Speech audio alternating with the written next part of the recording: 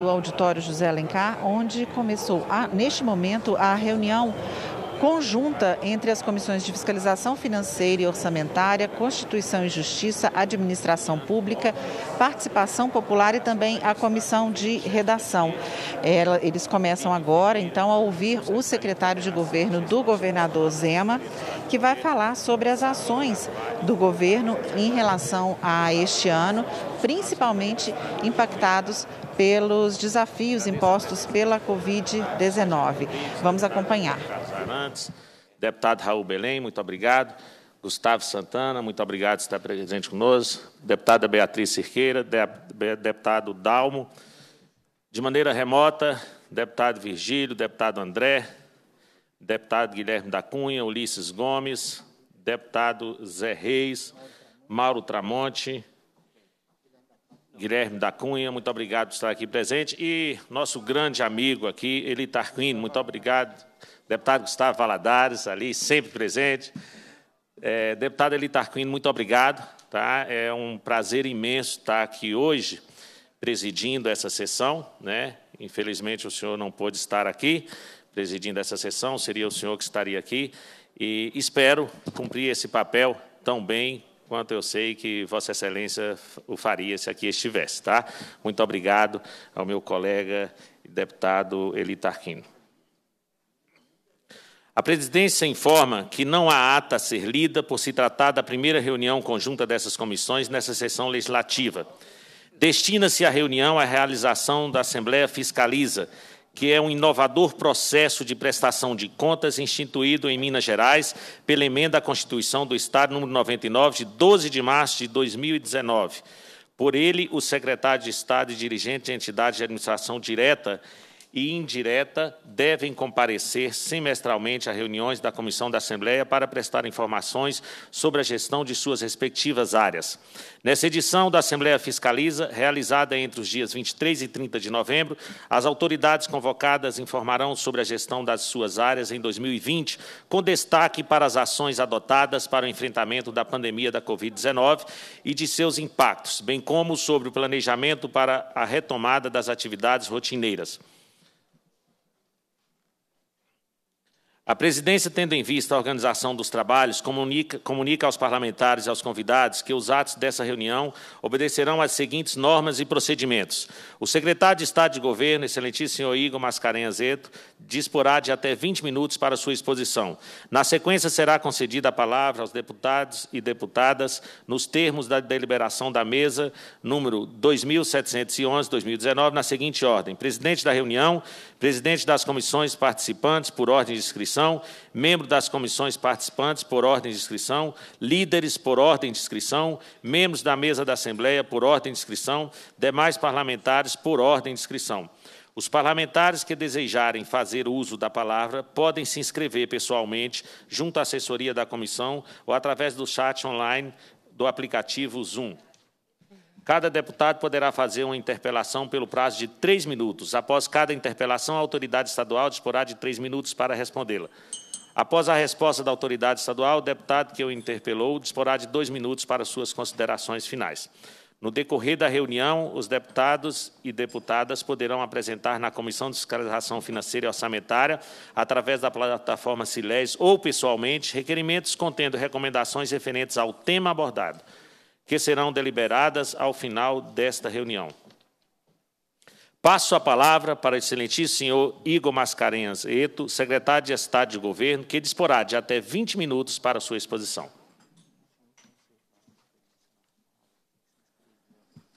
Boa tarde a todos.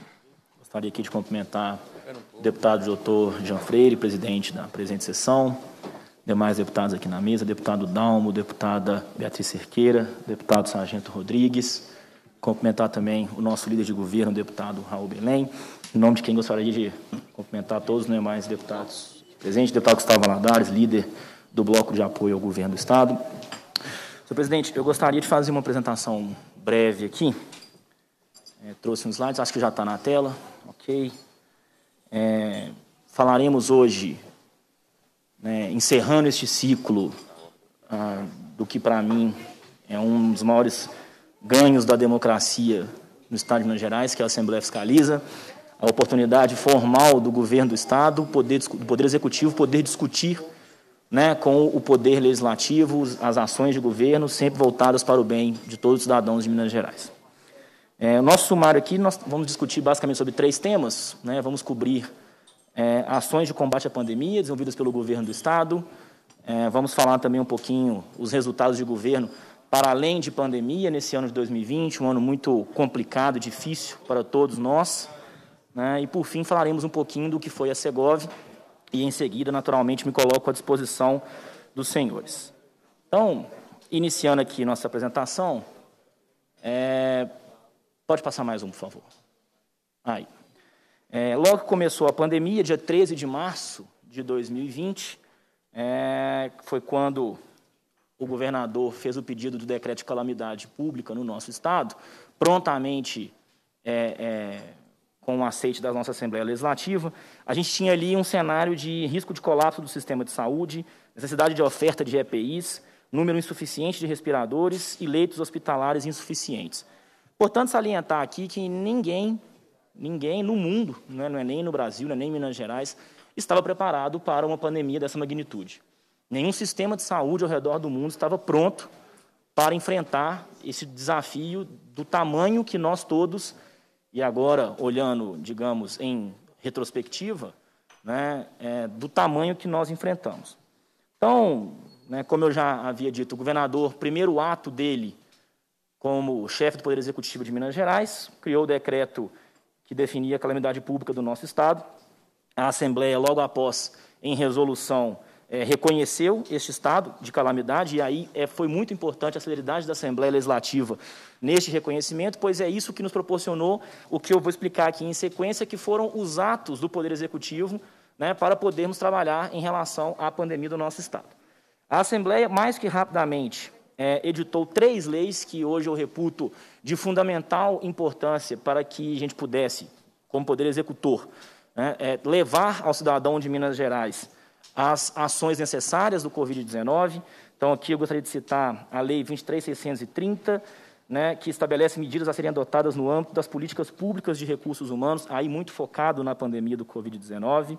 É, Lei 23.631, também de 2020, é, que medidas para impedir a interrupção de serviços públicos, como abastecimento de água, fornecimento de energia telefonia, instrumentos para auxílio financeiro dos municípios, política de renda mínima emergencial, e a Lei 23.632, que cria o programa de enfrentamento ao Covid-19 e autoriza a abertura de crédito especial ao orçamento fiscal e remanejamento de emendas parlamentares. Ou seja, estava construído aqui, deputado Dalmo Ribeiro, um arcabouço para que o Poder Executivo, com o respaldo do Poder Legislativo, pudesse executar as políticas públicas voltadas exclusivamente para a Covid-19. É, uma outra medida muito importante, que foi autorizada pela Lei 23.632, em trabalho conjunto do Poder Executivo com a Assembleia Legislativa, né, nós conseguimos remanejar e os parlamentares conseguiram indicar. É, deixa eu ver, pode passar para frente, por favor. Mais uma, por favor. Mais uma. Aí. É, em trabalho conjunto do governo do Estado com a Assembleia Legislativa, nós conseguimos é, fazer o remanejamento e indicação de 180 milhões de reais de emendas parlamentares para execução exclusiva do Covid-19. Todos os deputados da Assembleia Legislativa, que são os verdadeiros representantes da base, das regiões do nosso Estado, né, cientes do que estava acontecendo lá na ponta, lá na base, onde o cidadão de fato reside, é, tiveram a condição de, em parceria com o governo do Estado, indicarmos é, esta, esse volume é, bastante robusto de recursos para o combate do coronavírus.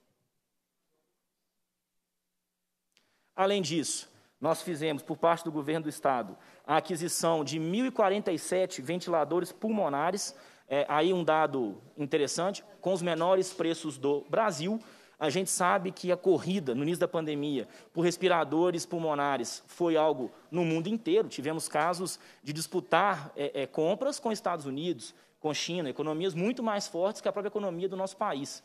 Né? Mas ainda assim, o Estado de Minas Gerais, sob comando do nosso governador Romeu Zema, nós conseguimos fazer a aquisição de 1.047 ventiladores pulmonares com o menor preço do Brasil.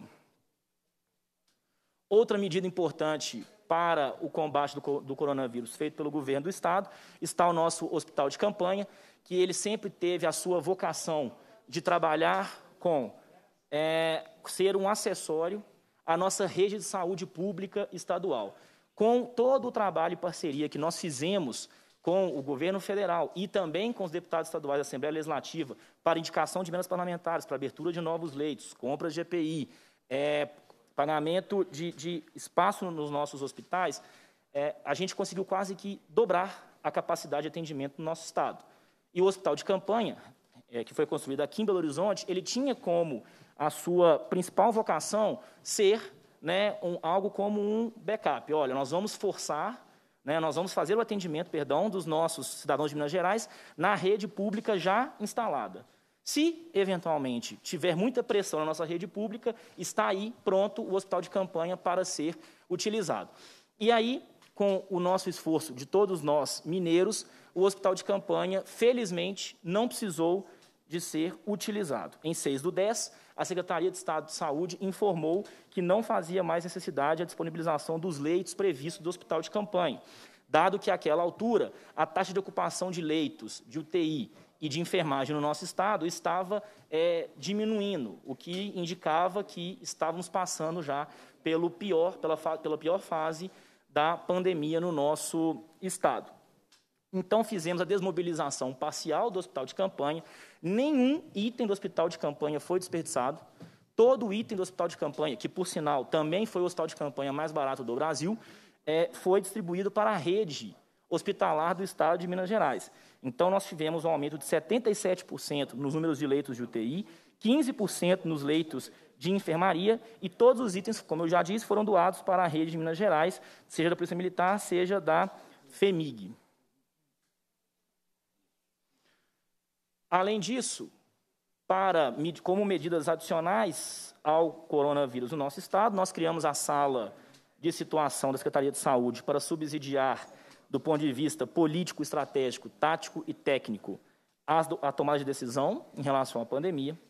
É, o governador Romeu Zema indicou a divulgação semanal e diária de boletins a respeito dos dados da pandemia no nosso Estado. Isso, inclusive, colocou Minas Gerais com nota máxima, 100 pontos no Índice Nacional de Transparência da Covid-19, como o Estado mais transparente no que tange a informações sobre a pandemia no nosso país. Além disso, fizemos elaboração de protocolos clínicos de atendimento, uma atuação efetiva do Estado no controle da pandemia. Somando isso tudo, é, o governo estadual, né, em parceria com a Assembleia Legislativa e também com o governo federal, destinamos 2 bilhões 237 milhões 386 mil reais e 859 reais para a população de Minas Gerais, investimento exclusivo no combate à pandemia do Covid-19 no nosso estado. Importante ressaltar ali, é, deste valor de 2 bilhões e 200, 1, milhão, 1 bilhão e 987, ou seja, praticamente 2 bilhões de reais, fonte do governo estadual. Além disso, é, fomos é, é, criado também, aí, aí, junto com a Assembleia Legislativa, na Lei Complementar 173 de 2020, o Renda Minas, né, que basicamente era um trabalho de transferência de renda para as famílias mais pobres no nosso Estado durante essa pandemia. Foram destinados 325 milhões de reais para essas famílias, é, com mais de 984 mil famílias atendidas no nosso Estado. Como outra medida, na Secretaria de Educação, e aqui nós temos a nossa presidente da Comissão de Educação na Assembleia Legislativa, a deputada Beatriz Cerqueira, que a educação é uma das pautas mais sensíveis né, na, no tocante ao, ao enfrentamento da, da, da pandemia. Né. Nós tivemos medidas é, que, na avaliação do governo do Estado, são necessárias para que as crianças não ficassem sem o seu bem principal, que é a educação, acesso à educação. Então, fizemos a transferência de 91 milhões de reais para o Bolsa Merenda, Criamos o regime especial de atividades não presenciais, o plano de estudo tutorado, transmissão diária de aulas pela Rede Minas e TV Assembleia, e aqui fica um agradecimento ao nosso presidente, deputado Agostinho Patrus, e demais membros da mesa e demais deputados da casa, pela parceria de transmitir, né, de ceder espaço na TV Assembleia para que a gente pudesse transmitir as aulas do plano de, de educação remota do Estado. Criamos a plataforma Conexão Escola para o acesso ao conteúdo digital de ensino, com acesso à internet custeado pelo governo. É, criamos a oferta de curso preparatório online para o Enem e repasse de 123 milhões aos caixas escolares, boa parte desses recursos em parceria com os deputados da Assembleia Legislativa que indicaram suas emendas parlamentares para este fim. Todo esse esforço em relação ao Covid-19, e aqui é importante ressaltar que, independente do nosso esforço, qualquer vida que a gente tenha perdido durante a pandemia deve sim ser lembrada, deve sim ser lamentada. É, infelizmente, essa semana, o Estado de Minas Gerais completou a, a, triste marca de 10 mil óbitos confirmados no nosso Estado por conta do coronavírus. A gente se solidariza com as famílias né, que perderam seus entes queridos por causa dessa pandemia, dessa trágica pandemia, mas é, mesmo nesse momento, né, de, com, com, perdas, de muita tristeza, de muita dor, é, temos aí uma, um alento, digamos assim, se é que assim podemos dizer. É, Minas Gerais hoje tem o menor coeficiente de mortalidade do Covid-19 do Brasil por 100 mil habitantes. 46,2 mortes a cada 100 mil habitantes. Este é o melhor índice de mortes, melhor performance, se é que podemos ter uma melhor performance de é, combate ao coronavírus no nosso país.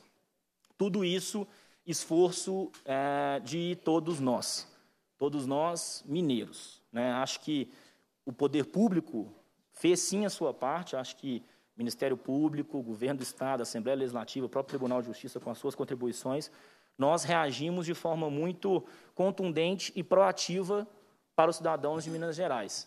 Mas o cidadão de Minas Gerais, acho que este sim é o maior vitorioso de toda essa é, é, é, desse combate ao coronavírus, pela sua forma bastante consciente, ponderada e conservadora e respeitosa com que ele tratou a pandemia durante todo este tempo ao longo do ano.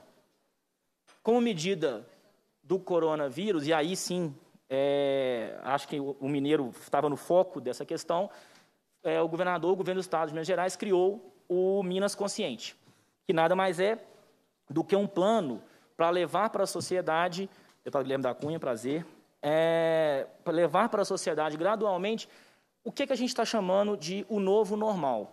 É, o governador Romeu Zema sempre deixou de forma muito clara para toda a sua equipe que, olha, o foco nosso tem que ser no curto prazo a saúde, mas no longo prazo a economia do nosso Estado, o emprego, a renda, a dignidade das pessoas não pode afetar a vida delas né, de, de modo que a gente é, tenha dois problemas: o problema da saúde e depois o problema de crise econômica do nosso Estado.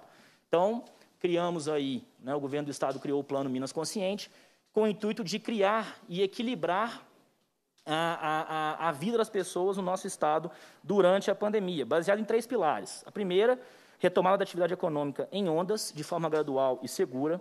Ah, o segundo pilar, a tomada de decisão a partir de indicadores que avaliem a capacidade assistencial e a incidência da doença, ou seja, é, não basta a gente ter é, poucos casos em determinada região. Nós precisamos também medir qual é a capacidade de atendimento que essa região tem do ponto de vista de saúde.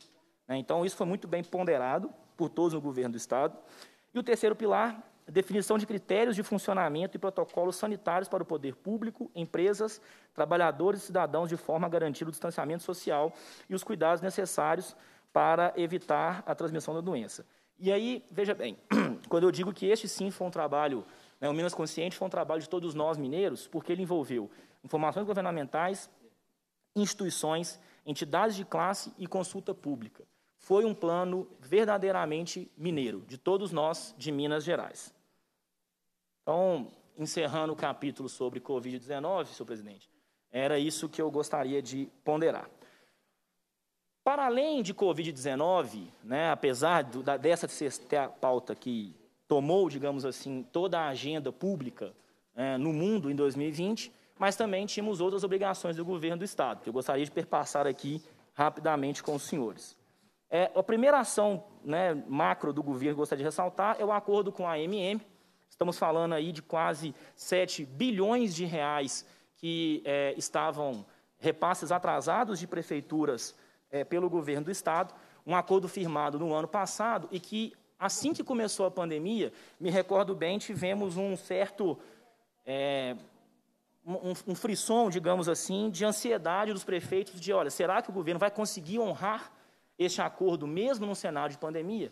E hoje, né, em final de novembro de 2020, o governo estadual consegue dizer que sim. Mesmo com toda a crise fiscal passada pelo nosso Estado durante todo esse momento, o governo estadual não atrasou uma parcela sequer do acordo de repasses aos municípios no Estado de Minas Gerais, o que, mais uma vez, fortalece para o combate do coronavírus no nosso Estado.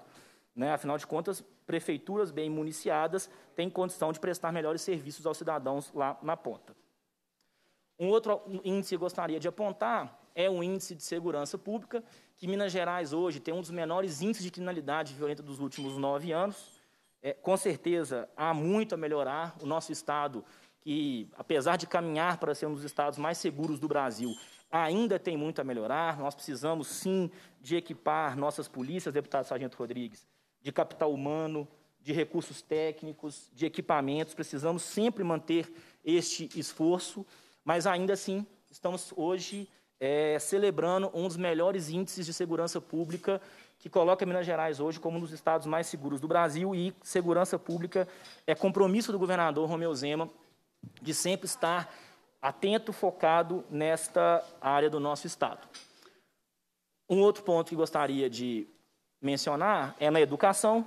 É, esse ano tivemos a grata notícia da maior nota da história de Minas Gerais no ensino médio do IDEB, né, depois de alguns anos de, sequentes, é, de consequência de resultados negativos, alguns anos até é, diminuindo em relação aos anos anteriores, é, no ano de 2020, Minas Gerais alcançou a sua maior nota na história do IDEB.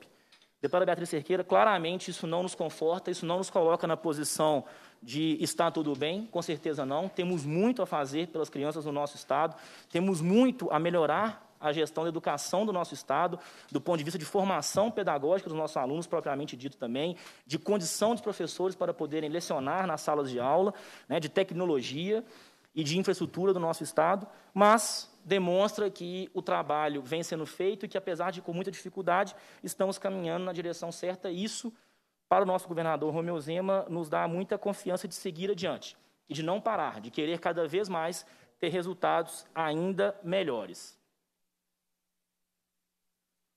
Um outro é, ponto interessante: Minas Gerais esse ano alcançou o primeiro lugar nacional no ranking de oferta de serviços digitais. É, na prática, o que isso quer dizer é mais simplicidade e menos burocracia para o cidadão de Minas Gerais. A gente é, tem que fazer uma, uma autocrítica, digamos assim, ao poder público. Nós temos uma função fundamental que é de organizar a, a sociedade do ponto de vista de formalidades e, e assim sucessivamente, mas nós não precisamos é, passar a curva da burocracia do necessário para algo que pese na vida do cidadão. Nós precisamos simplificar a vida do nosso cidadão. Né? É, deputado Antônio Carlos Arantes, que convive muito com os produtores rurais, com quem produz e investe no nosso Estado, sabe da dificuldade que esse produtor tem e o nosso Estado vem trabalhando, deputado, para poder simplificar e facilitar a vida dos nossos cidadãos. É, posso citar aqui é, o primeiro lugar no ranking de ofertas de serviços digitais, que facilita para o nosso cidadão, mas posso citar também o programa Minas Livre para Crescer, capitaneado pela Secretaria de Desenvolvimento Econômico, que visa tão somente simplificar e desburocratizar a vida de quem quer produzir e gerar empregos no nosso Estado. Geração de empregos, por sinal, que é a próxima pauta que eu gostaria de tratar, mesmo com a pandemia, Minas Gerais, no ano de 2020, assim como foi no ano de 2019, foi um dos estados do país que mais gerou empregos. Né? O CAGED, que é quem divulga o balanço líquido de empregos no nosso país, Minas Gerais está no quinto mês seguido de, de geração positiva de empregos no nosso estado. Nós somos o segundo lugar no ranking de melhores saldos de empregos no nosso país. O que demonstra que, apesar da pandemia, apesar de toda a dificuldade que nós tivemos para gerar empregos no estado de Minas Gerais, com muito esforço, de todos nós, e aí é importante citar mais uma vez os deputados estaduais da Assembleia Legislativa, que criaram leis fa que facilitam, que simplificam a geração de empregos no nosso Estado. Minas Gerais hoje alcança mais este bom resultado, como segundo lugar no ranking de maiores saldos de empregos e atração de investimentos para o nosso Estado. Por fim, falando um pouco do trabalho da Secretaria de Governo em si, a qual hoje é, estou chefiando a pasta, No ano de 2020, nós executamos até agora é, 451 milhões de reais em emendas parlamentares impositivas. Isso significa 829 municípios beneficiados pela indicação de emendas parlamentares dos nossos deputados estaduais. Na prática, isso significa é, recurso na ponta para o cidadão. Né? Aqui é importante ressaltar a, a, representatividade da Assembleia Legislativa hoje em Minas Gerais, um estado com 853 municípios, se a gente consegue beneficiar 829, significa que, na prática, nós estamos beneficiando, na sua plenitude, todo o estado de Minas Gerais, com recursos de políticas públicas, estendendo a mão a quem mais precisa lá na ponta. Né? Tenho certeza que, ao longo dessa, desse finzinho de ano, ainda que ainda temos é, pouco mais, se não me engano, pouco mais de 100 milhões de reais ainda para executar de emendas parlamentares, iremos alcançar a plenitude do nosso Estado de 853 municípios beneficiados. Um outro ponto da Secretaria de Governo que eu gostaria de destacar é a performance na resposta de requerimentos dos parlamentares ao longo do ano de 2020. Tivemos um recorde histórico este ano, 1.225 requerimentos respondidos, na Secretaria de Governo hoje nós temos uma equipe exclusiva pronta para responder os requerimentos, que nada mais são do que uma ferramenta formal de comunicação dos parlamentares é, e, do, e, da sociedade, de um modo geral, das pessoas, dos cidadãos de Minas Gerais, com o governo do Estado. Via requerimentos é que são questionados políticas públicas, ações do governo do Estado, respostas, é, sugestões, e nós tivemos esse ano é, um, uma evolução de 341% de respostas de requerimentos em relação ao ano de 2020, o que para nós, a Secretaria de Governo, é um motivo de muito orgulho, dado que, é, na nossa leitura, isso é o governo mais próximo do cidadão. E é importante só fazer uma, um adendo aqui, que isso só foi possível graças ao CIAPLE, que é o nosso novo sistema é, de troca de tramitação de requerimentos. Né? Então, tivemos que fazer alterações no sistema para dar conta de tamanha é, tamanho volume de, de, de resposta de requerimentos, mas fizemos sim. Acho que esse ano temos o que celebrar em relação à resposta de, de requerimentos. É, um ponto que eu gostaria de salientar aqui também é de mais uma vez agradecer todos os deputados estaduais da nossa Assembleia Legislativa pela tramitação, participação e aprovação da reforma da Previdência. Essa que, sem dúvida, foi a pauta mais, digamos, é, robusta, de mais potencial que o governo, o governo do Estado mandou para a Assembleia Legislativa esse ano, e de forma muito responsável, de forma muito madura e de forma muito democrática, discutindo e melhorando o texto, é, nós fizemos a aprovação da reforma da Previdência do nosso Estado, que garante mais recursos para políticas públicas, mostra estabilidade para pagamentos de aposentadorias e pensões, um equilíbrio fiscal garantindo 2,2 bilhões por ano de economia no nosso Estado, que ainda não é o suficiente. Parece muito, mas infelizmente não é o suficiente. Por isso, o governo do Estado continua contando com o apoio, compreensão e a proatividade de todos os deputados estaduais da nossa Assembleia Legislativa. Por fim, para encerrar a nossa apresentação, é, algumas proposições do governo estadual que estão na Assembleia Legislativa em tramitação neste momento né? Podemos citar o projeto 2150, que trata sobre contratação por tempo determinado. Este avaliamos ser um projeto bastante importante de podermos discutir aqui na Assembleia quanto antes. O projeto 2276, que considera o IPCA como índice atualizador da UFENG. Acho que isso representa, é, para o cidadão, é, menos custo no seu bolso, né, no pagamento de taxas e contas no nosso Estado. É, tem o PL 1016, sobre alienação de imóveis, PL 2274 sobre a ARSAI, 2275 sobre o CISEI, que é o Sistema Estadual de Inspeção, o PL 2252 de estadualização de rodovias, o 2273 que trata sobre a nota fiscal mineira, é, temos naturalmente ainda a atualização do nosso PPAG e a LOA do ano que vem, que a Assembleia vai discutir isso com certeza em breve, que é fundamental para o futuro, os rumos né, do, do futuro do nosso Estado. É, temos tramitando também o projeto 1203 de 2019, que autoriza a desestatização da Codemig, que essa é uma pauta importante para o governo estadual, que nós estamos sempre disponíveis para discutir com a Assembleia Legislativa e tenho certeza que irá caminhar muito bem. É, e o PL 876, que aperfeiçoa a estrutura e a organização da EPAMIG. Bom, senhores, é, acho que para início, para subsidiar né, a conversa que teremos daqui para frente, essa era a nossa apresentação da Secretaria de Governo. Gostaria aqui, mais uma vez, de agradecer a todos os deputados estaduais é, pela disposição, pela disponibilidade, presidente, de nos receber aqui hoje para podermos discutir, apresentar um pouco o nosso trabalho, parabenizar o presidente, a deputado Agostinho Patrus e demais membros da casa, os nossos líderes de bloco, deputado Sábio Souza Cruz, deputado Cássio Soares, deputado André Quintão e deputado Gustavo Valadares e todos os deputados aqui que, de forma muito transparente e profissional e correta com o governo do Estado, vem dialogando. Não foi um ano fácil, foi um ano extremamente difícil para todos nós, né? não só do governo do Estado, mas tenho certeza que para os parlamentares também. Mas acho que pelo balanço geral que fizemos aqui, é, para nós resta muito orgulho de ter desenvolvido esse trabalho em parceria com todos aqui na Assembleia Legislativa e a certeza de que se num ambiente de tanta diversidade, como foi esse ano de 2020, nós ainda assim conseguimos colher bons resultados, imagine em condições é, menos adversas, né, com menos externalidades e situações que afetam a todos nós. Temos certeza que Minas Gerais está pronta para decolar. E com o trabalho de união, parceria e transparência, diálogo do governo do Estado com a Assembleia Legislativa, com certeza vamos alcançar melhores resultados e uma vida mais digna para todos os mineiros. Muito obrigado. Muito obrigado, secretário. Neste momento, a presidência passará a palavra aos deputados e deputadas inscritas, que disporão de até três minutos para suas interpelações. Após cada interpelação, a autoridade estadual disporá de três minutos para é, respondê-la e o deputado poderá fazer suas considerações finais no prazo de dois minutos.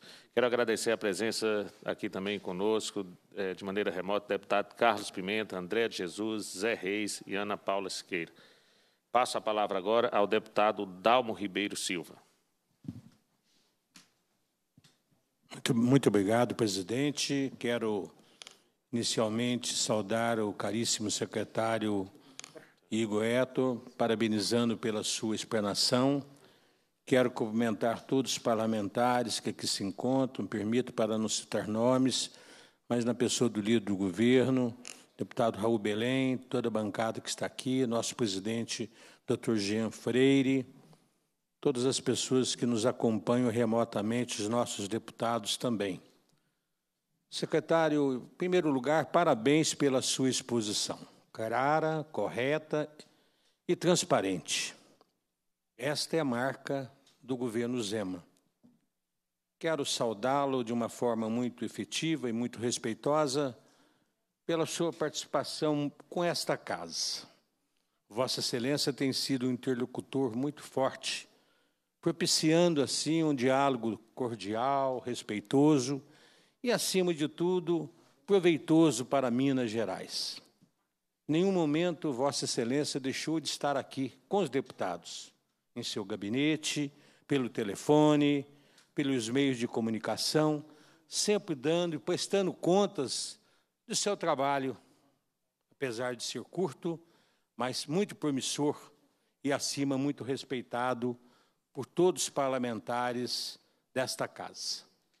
Mas a presença de Vossa Excelência também nos enche, acima de tudo, de muita satisfação quando Vossa Excelência inicia, prestando contas a respeito da participação do governador, do governo Zema nessa pandemia. É louvável e reconhecida nacionalmente a participação de nosso governador, como também na pessoa do nosso secretário, Dr. Carlos, que aqui esteve conosco, Carlos Eduardo, que esteve conosco também, prestando contas, da sua administração num momento difícil para Minas e para o Brasil. As determinações do governador, em decorrência do decreto aqui por esta casa referendado de calamidade pública, veio ao encontro das necessidades dos nossos municípios, no, no momento dificílimo que o prefeito estava realmente lá no seu município procurando solucionar as questões. O nosso governador, o governo, a equipe toda, não deixou de atender, buscando com certeza protocolos e procurando também encaminhar recursos, principalmente quanto ao hospital de campanha, a participação dos hospitais regionais e tantas e tantas ações que o governo fez durante essa pandemia que até hoje estamos enfrentando. Enfrentou bem, combateu um bom combate e é admirado, respeitado por todos e também por esta casa, sabemos nós. Vencida essa etapa da pandemia, Vossa Excelência vai ao segundo momento, do qual é importante.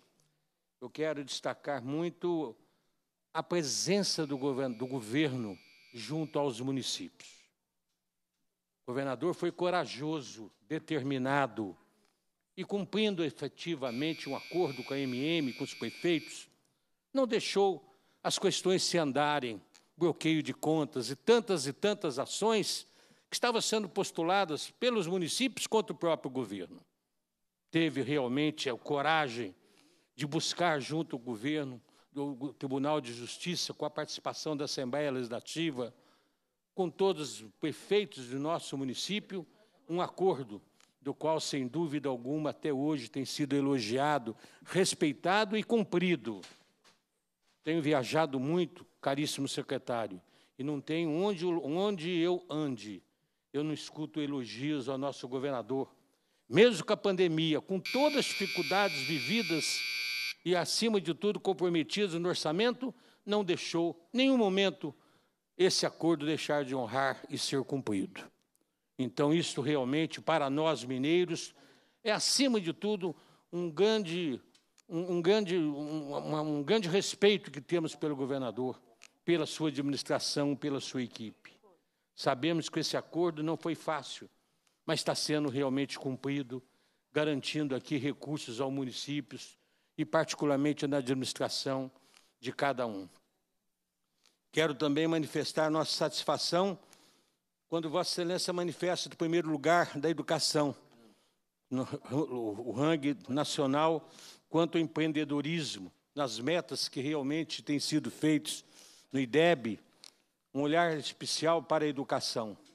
Aproveito, secretário, quando se fala em empreendedorismo, inovação, tecnologia, para manifestar a Vossa Excelência, que é de autoria do deputado Antônio Carlos Arantes e também de minha pessoa, o projeto para o marco regulatório dos startups, hoje pela fiscalização financeira aprovada. Posso dizer a Vossa Excelência, secretário, faz quatro anos que nós dois estamos aí. Fizemos um grande trabalho, construímos, inclusive, uma participação popular ativa, grupo de trabalhos, fizemos, inclusive, um seminário para discutir que é o melhor caminho, realmente, no marco regulatório para Minas Gerais, é realmente criarmos o startups na sua segurança jurídica. Para concluir, deputado. Estou terminando proporcionando assim grande garantia de desenvolvimento para o nosso Estado. Quero também destacar, caríssimo secretário, a preocupação do governador que tem com o projeto, com a segurança, segurança pública. Tivemos a presença de ouvir o nosso comandante-geral, o nosso doutor Wagner, tivemos coronel, inclusive o general Araújo, que aqui esteve, mas temos ainda uma pauta importante para tratarmos também, de outras questões, a instalação de delegacias para furtos de gado de nossa região, que nós temos recebido constantemente nesta Assembleia. Devo dizer, secretário, que temos aí uma expectativa muito grande, conforme Vossa Excelência manifesta, através do para o próximo ano. Temos o projeto importante Alô Minas, a comunicação já autorizado. Temos também as nossas rodovias e as nossas concessões das nossas rodovias cuja determinação Vossa Excelência também determinou, é exemplo da minha rodovia 290 da nossa região sul de Minas.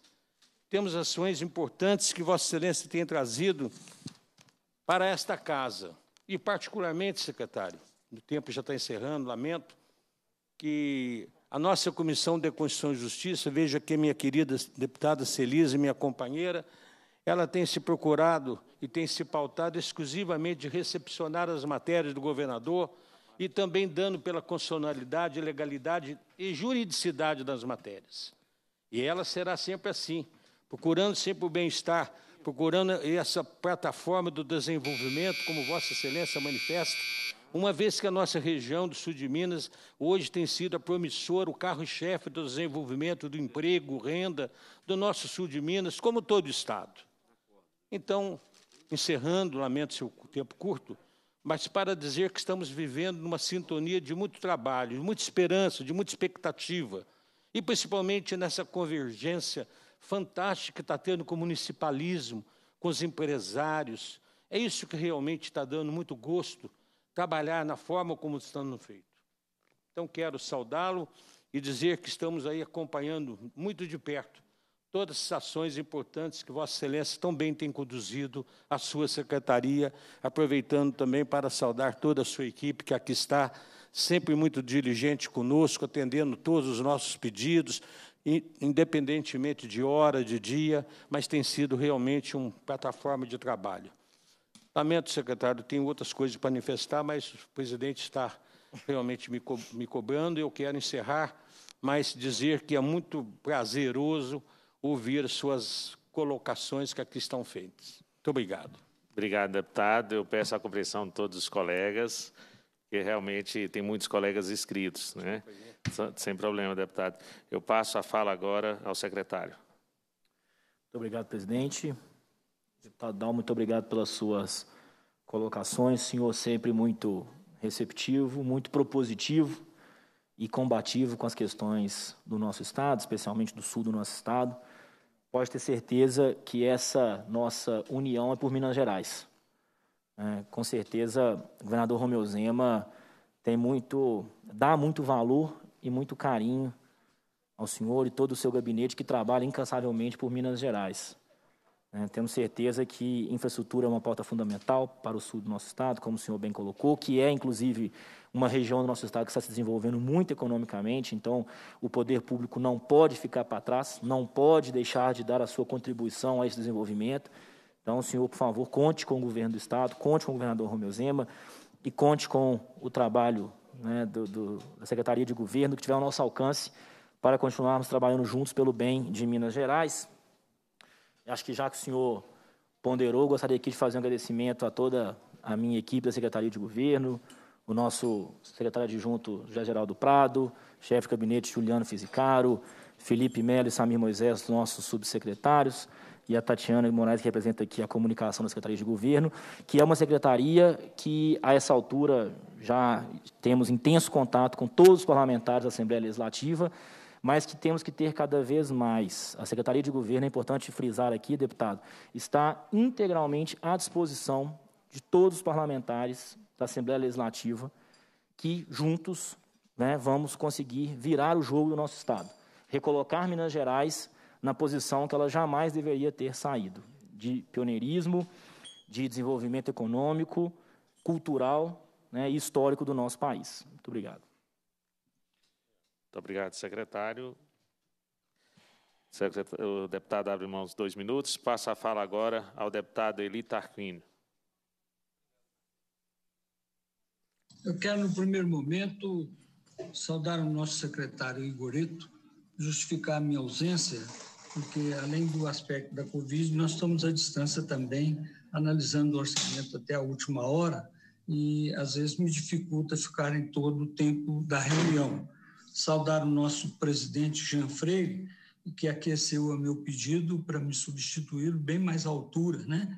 E brilhante, como sempre, trabalhador, médico, que deu um belo exemplo nessa crise de Covid, foi vítima da Covid, entubou o paciente, então nós apreciamos muito e queremos fazer nossa nosso elogio a ele, a nossa homenagem pelo seu trabalho durante a Covid e também na sua representação lá do seu território, sempre Itaubim. E muito obrigado, companheiro. E agradecer o nosso secretário Ureto pela brilhante explanação é, no tocante a essa, essa pandemia, né, que prejudicou imensamente a administração como um todo, né? Mas é, sei que com o trabalho conjunto com a Assembleia, com a disposição que o governo tem, agora com a disposição do nosso secretário, que tem dado exemplo de buscar o diálogo para a construção né, de uma Minas Gerais com justiça social, com desenvolvimento econômico, enfim, melhorando a educação, a saúde, a moradia, a segurança, nós vamos, se Deus quiser, triunfar, né? Mas é, a minha intervenção é só nesse sentido, dizer que estamos atentos a um orçamento que possa fazer, sobretudo, a nossa preocupação é o binômio. Justiça social, desenvolvimento econômico, é, simetria de gastos, mas nessa hora nós temos que entender que o governo também é, trabalhou no sentido de destinar os recursos necessários e adequados com a orientação científica do Ministério é, da Saúde, da Secretaria do Estado, todos estão envolvidos, né, com a segurança, com os nossos colegas aí, cada um no seu setor, procurando representar a sua região e atender as necessidades do momento na saúde, principalmente, mas também sem esquecer que o governo, como disse Vossa Excelência, para, para além da pandemia, tem tomado as medidas necessárias. Então, vamos viver nessa simbiose para construir uma Minas Gerais é, para criar um mundo melhor em Minas Gerais para a sobrevivência das pessoas. Muito obrigado pela oportunidade, né, que nós estamos à distância e temos cuidar do orçamento também. Muito obrigado. Obrigado, deputado. Tem algum comentário a fazer, secretário? Deputado Eli Tarquínio, gostaria apenas de cumprimentá-lo. Senhor, como decano da casa, um dos parlamentares mais respeitados aqui da Assembleia Legislativa. Sempre um, poder, um prazer poder falar com o senhor. Acho que o senhor tem razão. É, nós temos muito a construir ainda em Minas Gerais. O momento não é de criar muros, mas sim pontes de diálogo, de propostas de soluções para o nosso Estado. Sei que o senhor, como um representante, sobretudo, do Alto Paranaíba, tem demandas propositivas para a região e nós estamos atentos, conversando, o que está ao alcance do governo do Estado. É, com certeza, o governador tem todo a condição e interesse de também é, contribuir para o desenvolvimento da região, não só dessa região, mas como de todo o Estado. E, mais uma vez, agradecer ao senhor pela sua intervenção, presença, e não se preocupe, não estamos, estamos distantes fisicamente, mas com certeza muito próximos no que diz a discussões de propostas para melhorar o nosso Estado, né? Então, nos coloco, coloco aqui toda a Secretaria de Governo à disposição do senhor e parabenizo por todo o trabalho desenvolvido nas grandes responsabilidades que o senhor tem, como o senhor citou agora, a própria lei orçamentária do nosso Estado. Obrigado, secretário. Deputado Eli, mais dois minutos, quer fazer uso? Então, eu quero apenas agradecer Vossa Excelência né, pela a disposição e o denodo em prol da Assembleia Legislativa e do povo principalmente do Norte, Nordeste e também de Minas Gerais. Vossa Excelência tem sido muito profícuo nas suas atividades, né, nos seus seu dever de servir e também receber o mérito de todos nós, né, as homenagens. Então, muito obrigado. Muito obrigado, deputado. É, eu deixo aqui o meu agradecimento também à Vossa Excelência pelo trabalho belíssimo que faz aqui nessa casa. E dizer, deputado, uh, aproveitando esses dois minutos, já que o senhor fez essa fala aí, é, hoje mesmo eu recebi uma mensagem, secretário, nós estamos aqui tratando da questão de Covid, lá do administrador da minha cidade, perguntando se tem espaço ainda para dar plantões, porque estamos precisando de médico, está sem médico que queira ir para atender no CTI Covid. E um, ele manda num certo desespero, dizendo é um pedido de socorro, né? Então fica aí que a gente possa chamar a atenção de todos os colegas, médicos e médicas e também do Estado nessa função de médicos, mais médicos para o interior. Passo a fala agora ao deputado Sargento Rodrigues. Obrigado, presidente, deputado doutor Jean. Cumprimento os demais colegas deputados que se encontram aqui presentes. Cumprimento é, o secretário Igor Eto. Parabenizo pela a sua exposição aqui feita e de forma muito objetiva, secretário, como é sempre é, uma marca desse deputado.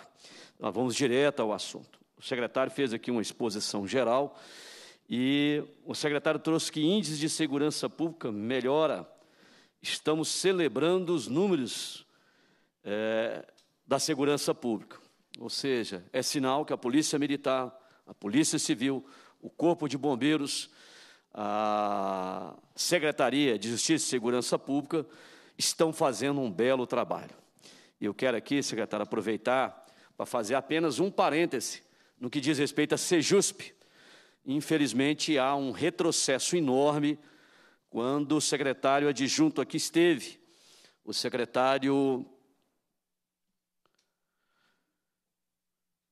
Gustavo Tostes, quando aqui esteve e embromou, embromou, embromou e não nos apresentou uma razão plausível para ter cortado a senha de acesso da Polícia Militar ao monitoramento dos tornozelados, que hoje já passa de 5 mil.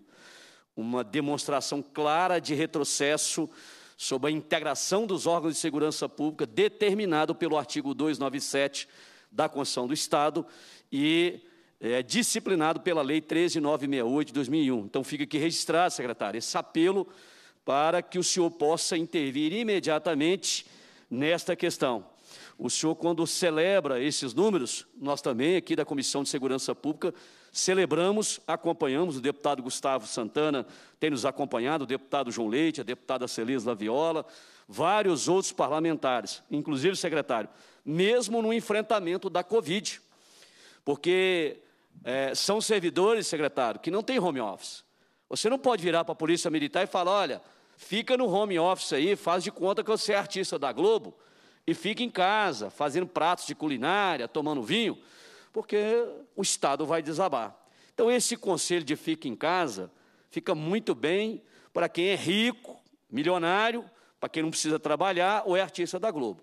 A Polícia Militar está 24 horas na rua o Corpo de Bombeiros Militar, logo que o governo assumiu o governo, 25 dias depois, o bombeiro militar deu uma demonstração de total empenho daquela instituição no episódio de Brumadinho e vem prestando relevantes serviços. Né? O sistema prisional, a mesma coisa, o sócio-educativo e a Polícia Civil também, durante as apurações da própria eh, episódio da barragem Brumadinho, e, em sequência, tantos e tantos outros crimes que foram elucidados através da atuação das forças de segurança pública, mesmo no período de enfrentamento da Covid. É, nós estivemos com o secretário Igor Eto, com o secretário Matheus Simões, da Comissão de Segurança Pública, eu, o deputado Gustavo Santana, o deputado João Leite e a deputada Celis Laviola, e fizemos um apelo, secretário, em relação à questão da convocação né, dos excedentes do concurso da Polícia Civil, Polícia Militar, Corpo de Bombeiros Militares e Sejusp, como o caso do, do processo simplificado né, da Sejusp. E, inclusive, secretário, estamos aqui hoje com um requerimento à Comissão de Fiscalização Financeira e Orçamentária, essa reunião conjunta, porque nós marcamos para amanhã também um encontro. Mas Vossa Excelência já nos relatou que o impedimento de comparecer amanhã, com outras agendas, como nós já tínhamos, inclusive, aportado um requerimento aqui, requerimento assinado por mim, deputado Gustavo Santana e deputado João Leite, nós gostaríamos, secretário, conforme foi acordado, que Vossa Excelência pudesse nos apresentar aqui o cronograma dessa questão que diz respeito aos excedentes dos concursos que eles tantos esperam. Muitos deles né, saíram de empregos, mudaram de estado, ou seja, tem todo um percalço. Essa é a primeira pergunta. E a segunda pergunta, de forma muito mais objetiva, presidente, eu estou apresentando o requerimento como membro da comissão efetiva da Comissão de Administração Pública e presidente da Comissão de Segurança Pública. O deputado que subscreve, eu estou apresentando o requerimento, secretário, e, de, de certa forma, formalizando a pergunta ao senhor e seja encaminhado ao governador do Estado pedido de providência para que se efetue no prazo legal o pagamento da totalidade ao 13º salário a todo o funcionalismo público de Minas Gerais. Ou seja, que pague integralmente aos servidores públicos civil e militar a devida gratificação natalina, conforme publicou em suas redes sociais o governador do Estado anunciou o pagamento apenas de parte do 13º salário em 23 de dezembro do corrente ano, conquanto este é devido em sua integralidade no final de cada ano. Ressalte-se que o 13º salário calculado com base na remuneração integral ou no valor da aposentadoria, é um dos direitos constitucionais consagrados no artigo 7 que se aplica aos servidores públicos. Portanto, secretário, como é um direito, também me sinto no dever, como membro da Comissão de Administração Pública, de perguntar em relação ao pagamento do restante do 13 terceiro, já que o governador anunciou parcela. Então, são essas duas perguntas, é, presidente, que eu gostaria que o secretário nos respondesse. Secretário. Muito obrigado, presidente. Deputado Sargento Rodrigues, agradeço pelas ponderações. É, deputado, permita-me responder o senhor de, de trás para frente. Né? Vamos falar primeiro do 13º salário. É, o governador Romeu Zema anunciou na semana passada, após, se não me engano, três anos, é, parte dos servidores do Estado de Minas Gerais receberão seu 13º no ano corrente.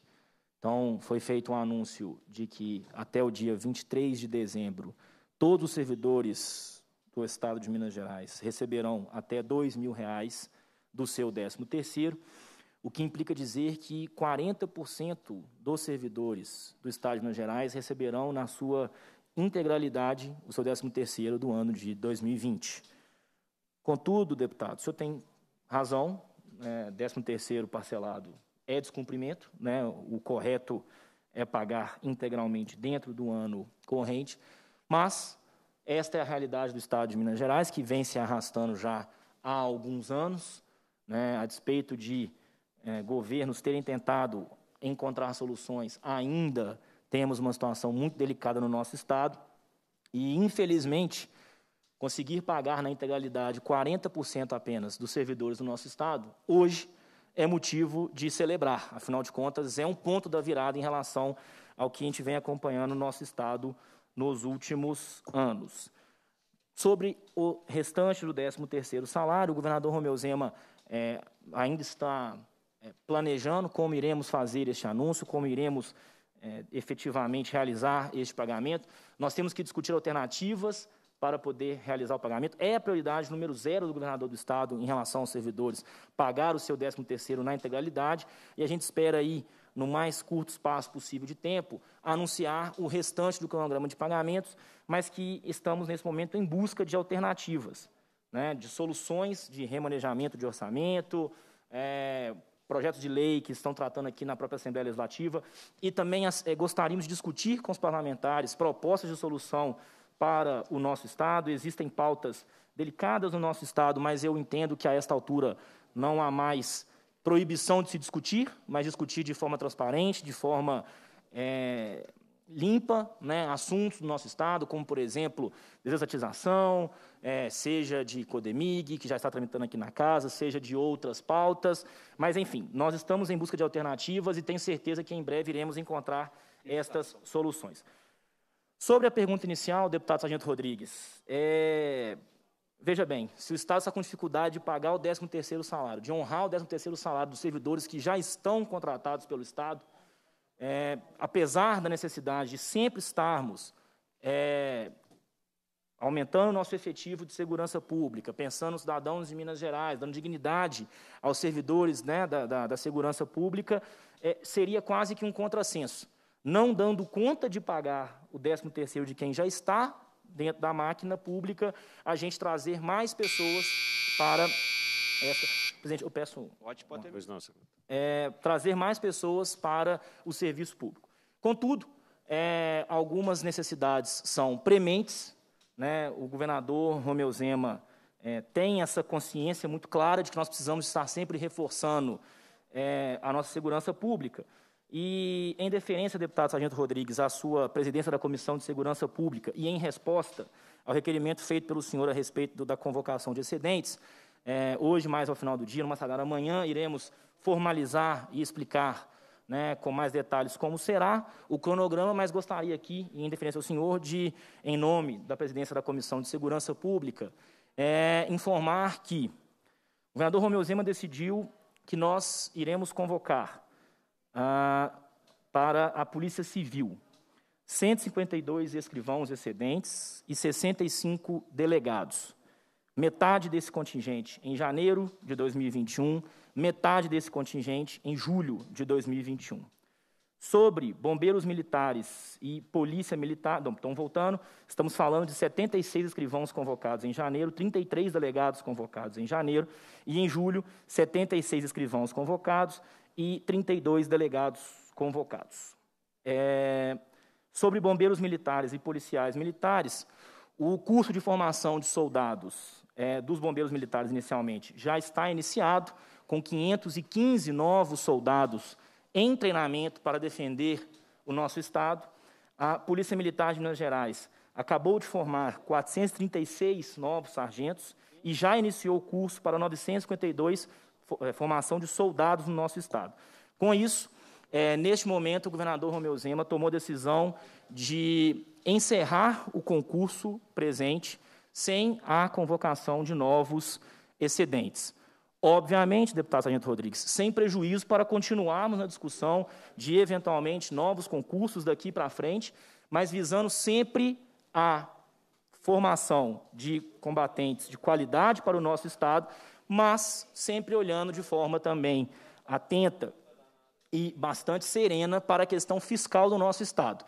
Não podemos ser irresponsáveis. Segurança pública é prioridade do nosso Estado. Contudo, a questão fiscal também é uma prioridade, deputado Sargento Rodrigues. Por isso, com muito esforço, o governador Romeu Zema, entendendo que existe uma urgência muito grande na Polícia Civil neste momento, tomou por decisão fazer o esforço de convocação dos excedentes da Polícia Civil. E, neste primeiro momento, se manter com os bombeiros militares e policiais militares já convocados. Muito obrigado. Deputado Sargento Rodrigues. Secretário, eu queria dizer que recebemos, nós da Comissão de Segurança Pública, recebemos com alegria a convocação dos delegados, do concurso de delegados da Polícia Civil e de escrivães. Mas, por outro lado, é, é, muito triste, é decepcionante a gente ouvir que os demais excedentes não serão convocados. É, quando aqui estiveram os chefes de polícias e comandantes, todos foram unânimes em afirmar a grave, né, o grave problema do grave déficit de efetivo das forças de segurança pública. O senhor tem razão quando fala na ordem de prioridade. A ordem de prioridade realmente é a Polícia Civil, que nesse momento apresentou um número muito mais caótico no sentido de recompor os seus quadros, o seu efetivo. No entanto, é, eu faço aqui um apelo ao secretário para levar esse apelo ao governador é, que não retire a possibilidade da convocação. Talvez não nesse momento, mas nós podemos esperar, virar o ano, aprovar projetos, porque a prorrogação dos concursos ela já existe, até inclusive a, a, a questão da pandemia, até já está inclusive na lei, já está aprovado em lei a prorrogação, a suspensão da validade desses concursos. Então seria mais do que justo o governo também aguardar. Nós temos uma lei, que é Lei 23, se eu não estou equivocado, 683, uma lei sancionada pelo próprio governador. Lei 23.683, inclusive de autoria do líder de governo. Aqui o líder de governo.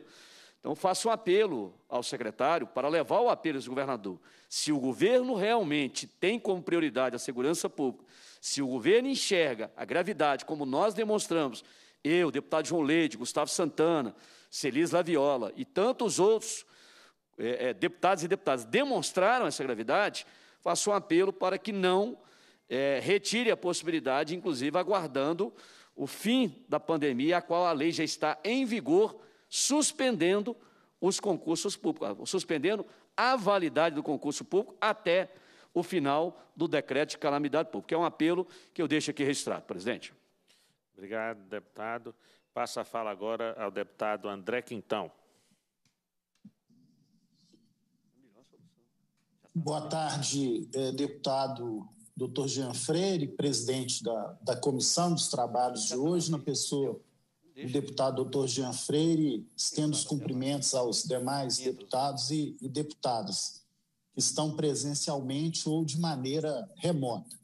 Queria também cumprimentar o secretário Igor Eto, e, na sua pessoa, estender aí os cumprimentos a toda sua equipe, que parte dela, né, pelo menos, se faz presente também na Assembleia Legislativa.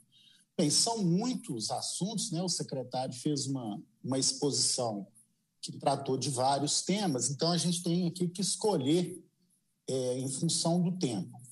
É, a primeira observação, e fica claro, acredito que também lógico para o próprio secretário, é que é, a pandemia não é uma coisa do passado.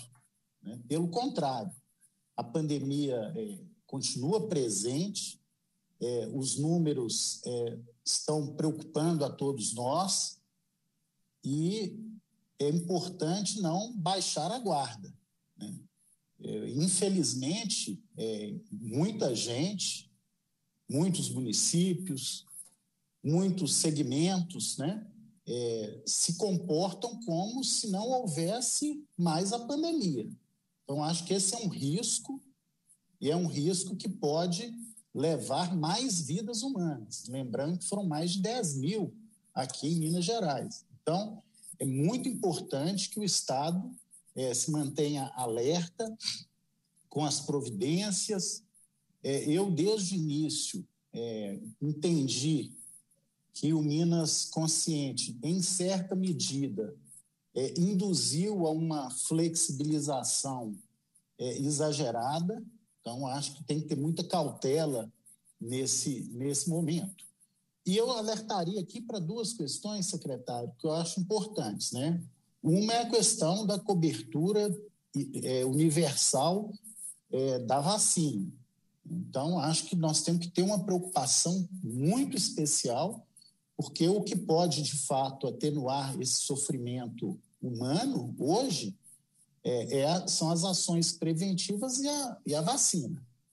Então, a, eu, o governo federal é, ele não tem responsabilidade né, com a pandemia, o presidente da República é negacionista, é, cometeu muitos desacertos durante todo esse período, não coordenou um esforço é, de cooperação federativa.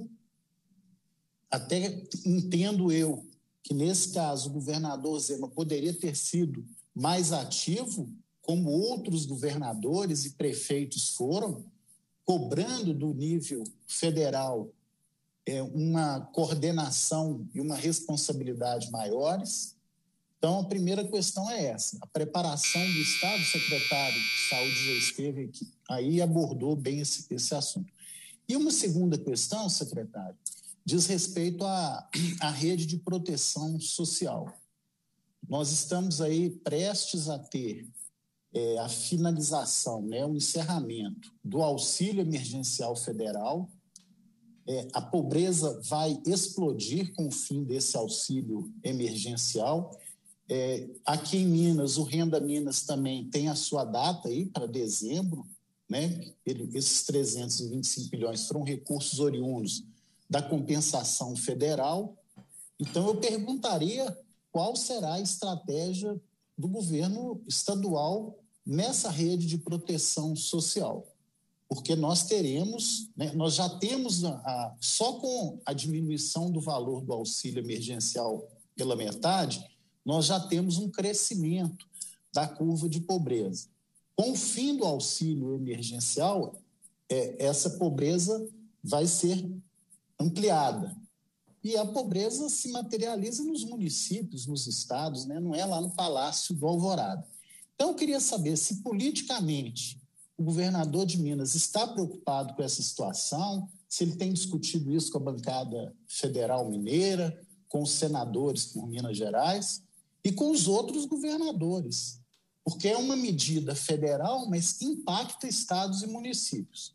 E se aqui em Minas há alguma discussão, inclusive no âmbito do acordo com a Vale, que é uma outra questão que eu comento depois na, nos dois minutos finais, que nos preocupa também, até porque a Assembleia é, está completamente alijada e não, não, não tem informação né, é, sobre o, o, que de fato vai ser é acordado, mas eu queria deixar essas duas questões para o secretário em relação à pandemia. A questão da preparação para assim que a vacina, seja ela qual for, tiver já em, em ponto de ser utilizada e também com relação aos programas de transferência de renda. São as duas questões que eu deixo aí para o secretário.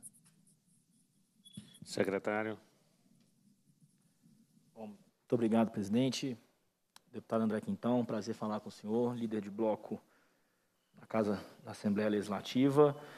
É, deputado, primeiro, importantíssimo dizer sobre a pandemia. Né? De fato, nós estamos em pandemia.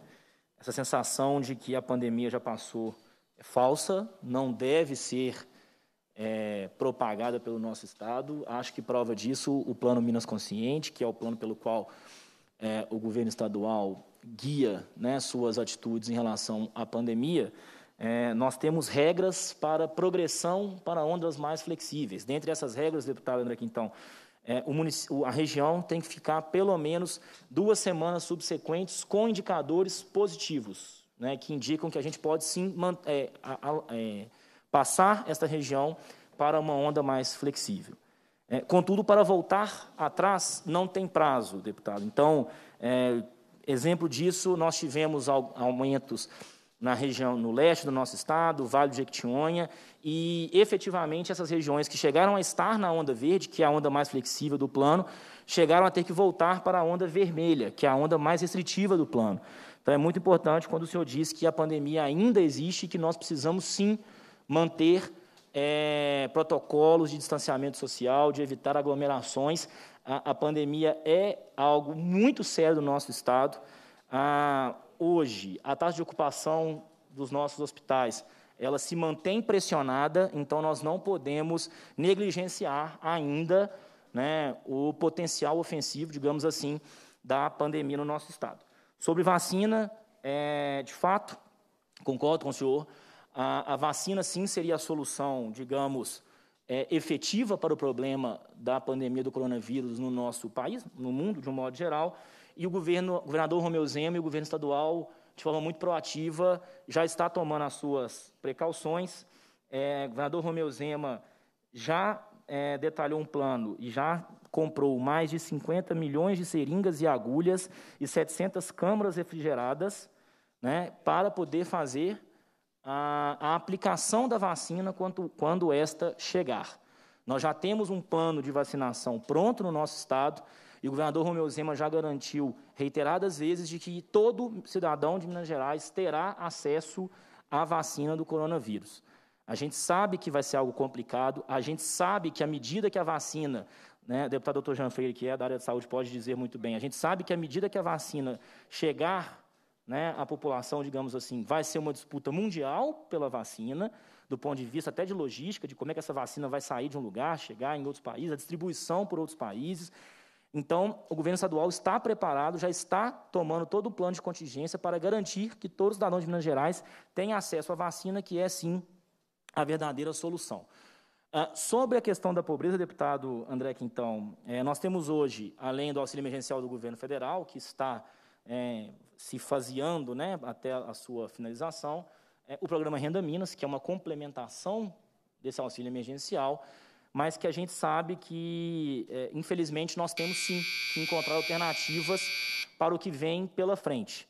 A gente sabe que a pandemia vai deixar marcas ah, na economia do nosso Estado, especialmente naquela, naquela população de situação mais vulnerável, e nós temos sim que encontrar alternativas, dentre elas, por que não, continuar estender o prazo de vigência é, do Renda Minas, encontrar alternativas de financiamento para esse plano, como é o caso hoje, né, que é um plano que ele é parte financiado pelo Tesouro Estadual, parte financiado por outras, outros parceiros, e continuar encontrando essa alternativa. E o senhor citou aí o acordo da Vale. Este é um acordo que, é, confesso ao senhor que a Secretaria de Governo ainda não está participando dele, está sendo tratado do ponto de vista jurídico e técnico, após a oitiva de todos os deputados e demais atingidos das, das barragens ao longo de mais de um ano de diálogo sobre este assunto, mas por que não discutirmos usar, a utilização de parte desse recurso para manter a, a renda mínima, o senhor tem razão, sim, é um ponto que temos que discutir muito e de forma urgente.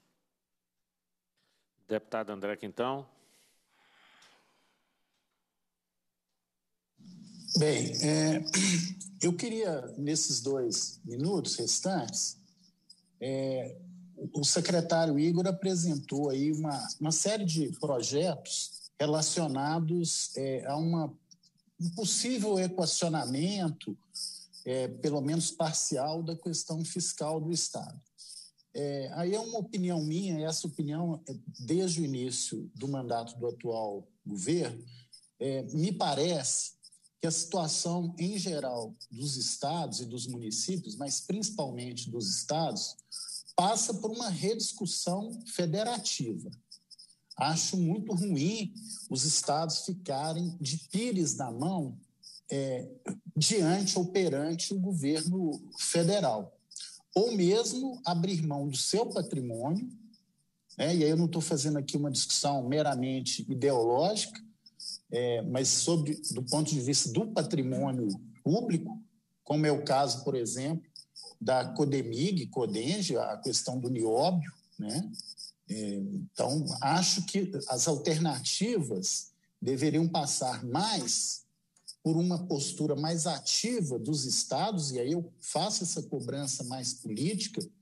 Às vezes me parece que, em função da fragilidade estrutural da questão fiscal de Minas, o governador Zema fica muito submisso à lógica do governo federal. Ele não assinou, por exemplo, o manifesto em defesa do novo Fundeb, quando os governadores cobraram mais recursos para a área, inclusive de enfrentamento da pandemia do governo federal.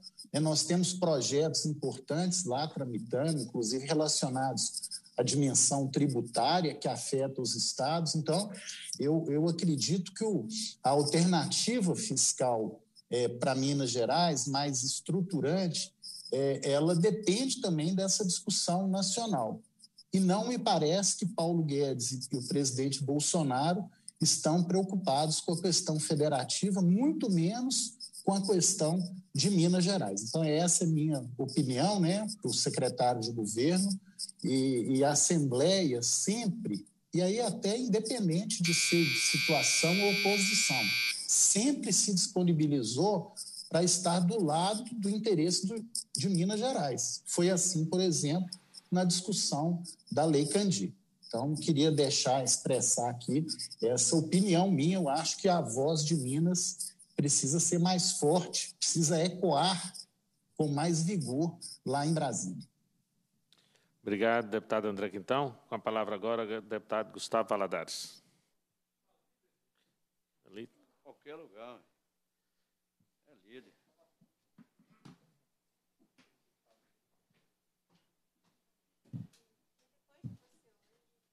Logo após? Boa tarde é, aos deputados, deputada, é, deputadas, né, que se fala, tem, são duas, não tinha visto Celise aqui ainda, perdão. Deputadas, secretário de governo Igor, eu vou começar, uma pena que a Assembleia Fiscaliza não permite o, o debate entre parlamentares, né, o bom debate, mas eu vou começar aqui trazendo um argumento que eu acho que derruba um pouquinho essa teoria da recuperação fiscal de Minas trazida pelo que me, deputado que me antecedeu. É, não acho que é por questão de submissão ou não que Minas vai se recuperar fiscal, é, financeiramente nessa relação com o governo federal. Veja que a, quando o ex-governador assumiu, ele tinha como presidente da República uma aliada companheira de partido, alinhados, colegas de ministério ao longo de anos e anos e anos, de militância, de quase luta armada, foram colegas juntos, eu acho que inclusive estiveram presos juntos na época da ditadura, quase irmãos, né? O ex-governador se gabava, inclusive, dessa relação que tinha com a, com a antiga presidente. De nada adiantou essa relação. Minas vive hoje o descaso do governo federal para com o nosso Estado, desde esta época, desta relação próxima do ex-governador com a ex-presidente da República. Então, é preciso que tenhamos responsabilidade e, ao mesmo tempo, soluções práticas para o problema. Minas não pode esperar. De forma muito franca, eu estive em um lado oposto do secretário Igor há dois anos atrás na eleição. Dois anos, um pouco mais, né? Estivemos em lados opostos. Mas nunca me furtei e não me furtarei a discutir soluções para o nosso Estado de forma prática e objetiva. Por isso, busquei me aliar e ser hoje parceiro desse governo. Por quê? Porque eu tenho a convicção de, de que este é um governo formado de pessoas de bem, de pessoas bem intencionadas. Por vezes, e isso já não, isso não aconteceu uma única vez, até mesmo com o próprio secretário de governo, com quem, por conta da posição que eu e o deputado Raul exercemos hoje, por vezes eu discordo dos posicionamentos do governo e do, do próprio secretário e de outros secretários, mas buscamos a construção de forma prática, franca, transparente, de soluções que tragam benefício ao Estado. Então, esta, esse discurso de que ah, a submissão do atual governador ao governo federal é o problema da questão fiscal de Minas, não é verdade.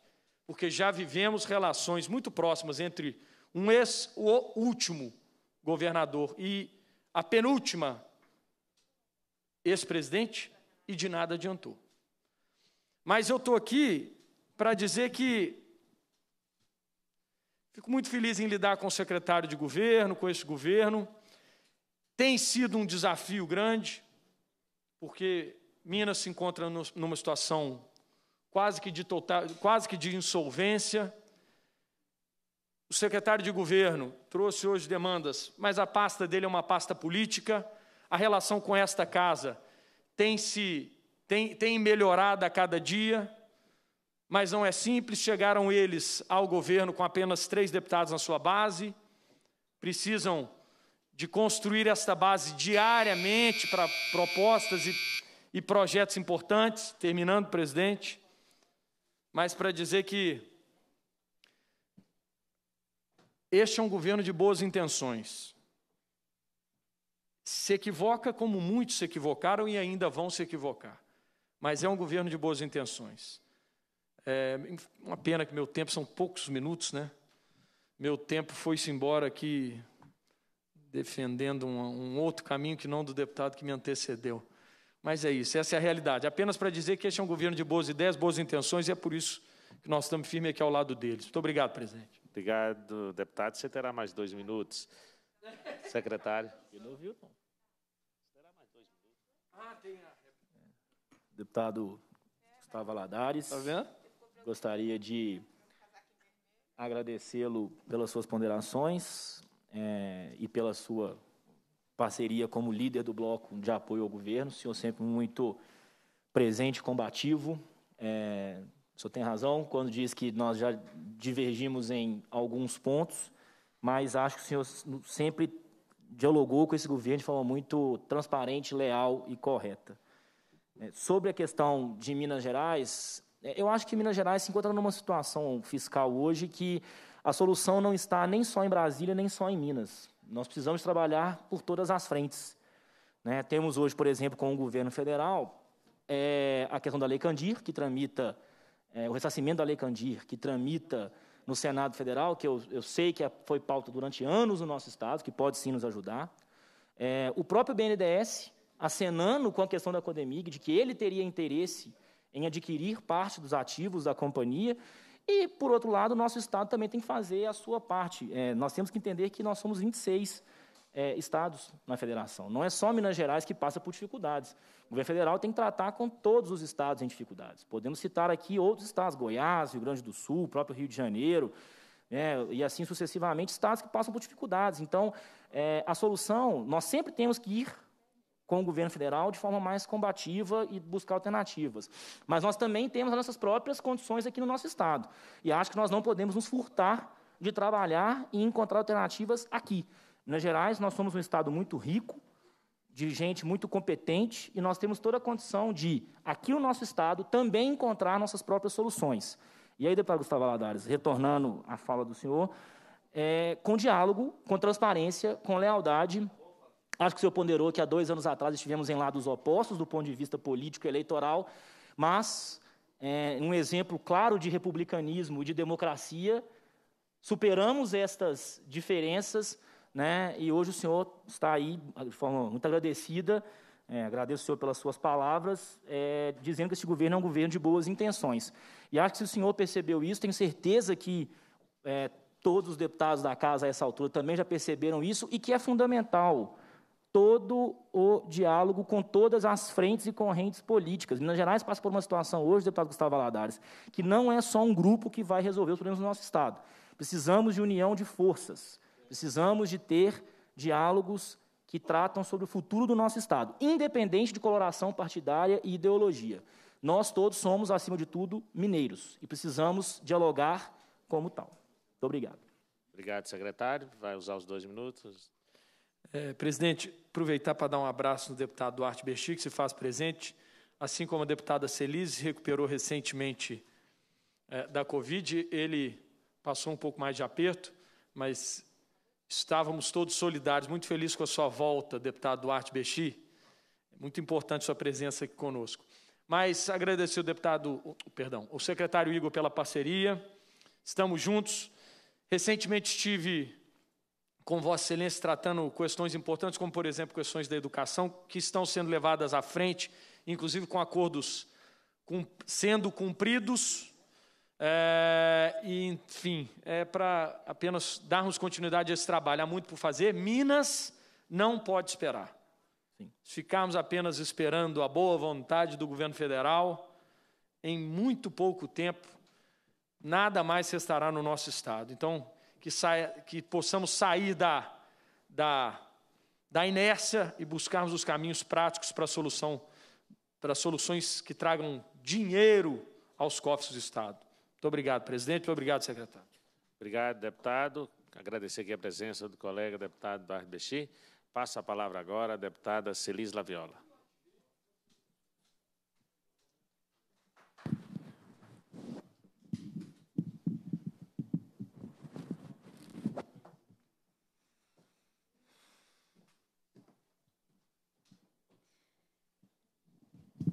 Boa tarde, presidente, deputado Jean Freire.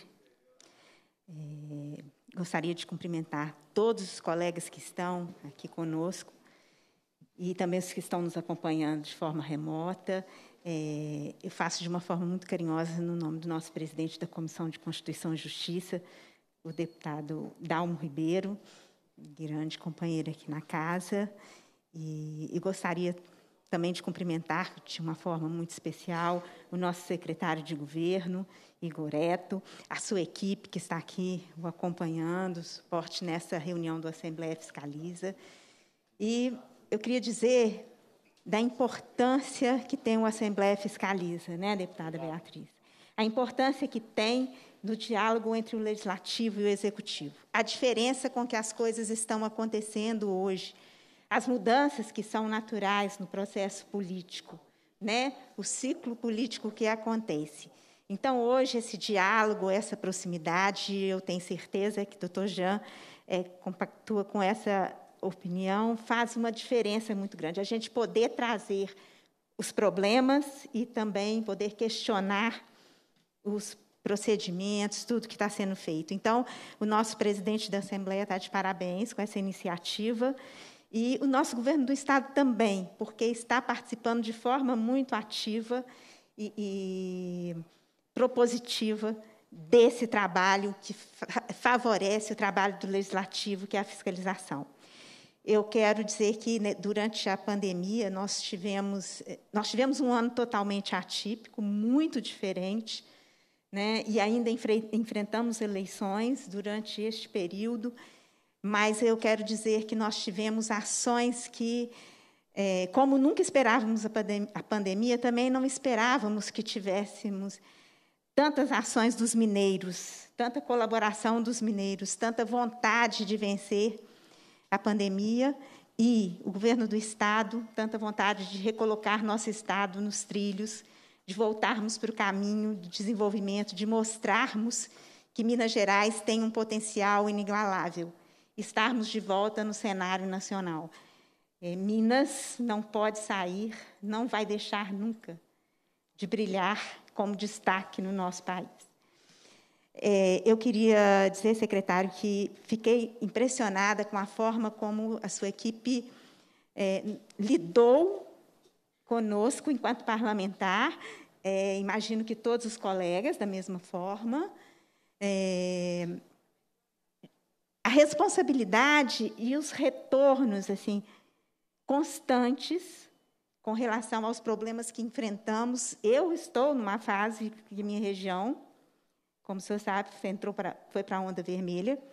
Tivemos hoje um paciente transportado para Sete Lagoas, porque não temos mais leito em Governador Valadares. E, assim, a forma como o Estado esteve presente, a dificuldade existe, precisamos fazer muitas coisas. Mas fizemos muitas coisas. E tivemos a presença, tivemos o acompanhamento, nos sentimos mais seguros. Nós, da região leste, que enfrentávamos um esquecimento é, eu estava até brincando ainda há pouco aqui com o deputado Guilherme que ninguém sobe muito para falar da região leste, mas eu estou aqui para falar da região leste, que nós, com todos os problemas que enfrentamos, nos sentimos, de certa forma, amparados. E eu preciso dar esse testemunho e agradecer o governo do Estado, porque esteve lá conosco, levou equipamentos, ajudou na montagem, ajudou na estrutura, nos forneceu uma segurança que teve um peso muito grande para a gente nesse momento.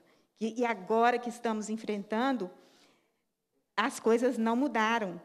Pode pensar assim, ah, estávamos no período. Não, não era, estávamos no período eleitoral, não. A luta do governo conosco, a assistência e o amparo continua. Né? E eu faço aqui um destaque grande do trabalho da Secretaria de Governo, junto com a Secretaria de Saúde, e também a Secretaria de Desenvolvimento Econômico, tentando nos salvar quando vivemos exclusivamente da agropecuária e do comércio, sem indústrias para gerar melhores condições de emprego, por ser uma região com essa característica. E aí estamos sentindo a vontade de nos ajudar a vencer esse problema que para nós é tão sério.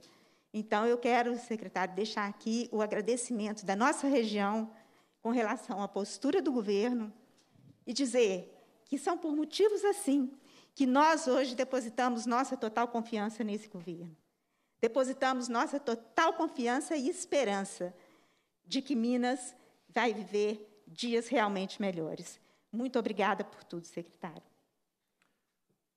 Obrigado, deputada Celis. Secretário. Deputada Celis Laviola, muito obrigado pelas ponderações. Senhora sempre muito combatente para o leste do nosso estado, sempre presente, lutando pela região, pelas demandas da região.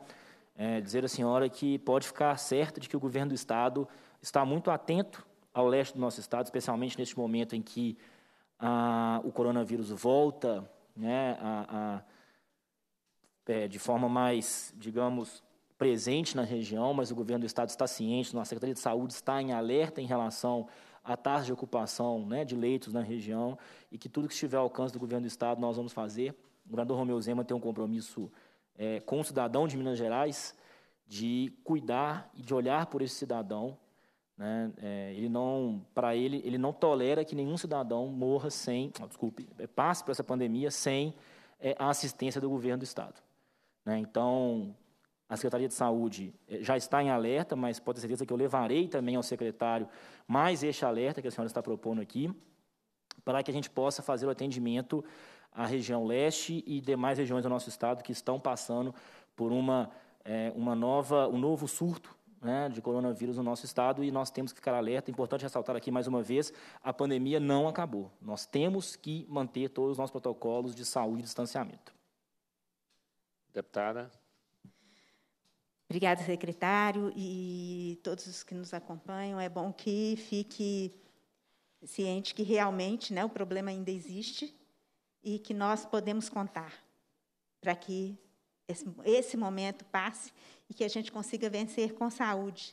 Minas Gerais consiga sair à frente com saúde. Eu aproveito, doutor Jean, hoje é a Comissão de Participação Popular, mas eu aproveito para parabenizá-lo pela atuação na Comissão de Saúde também, junto com o presidente, deputado Carlos Pimenta, trabalho que vem sendo feito por essa casa nesse período, né? o envolvimento que tem sido feito. E, mais uma vez, secretário, eu quero agradecer penhoradamente ao governo do Estado por se lembrar do leste de Minas, por lembrar que Minas Gerais precisa realmente ter um trabalho diferente. Nós precisamos de empreendimentos, melhorias e de dar relevância ao nosso povo mineiro. Muito obrigada. Obrigado, deputada. Passo a fala agora ao deputado Antônio Carlos Arantes.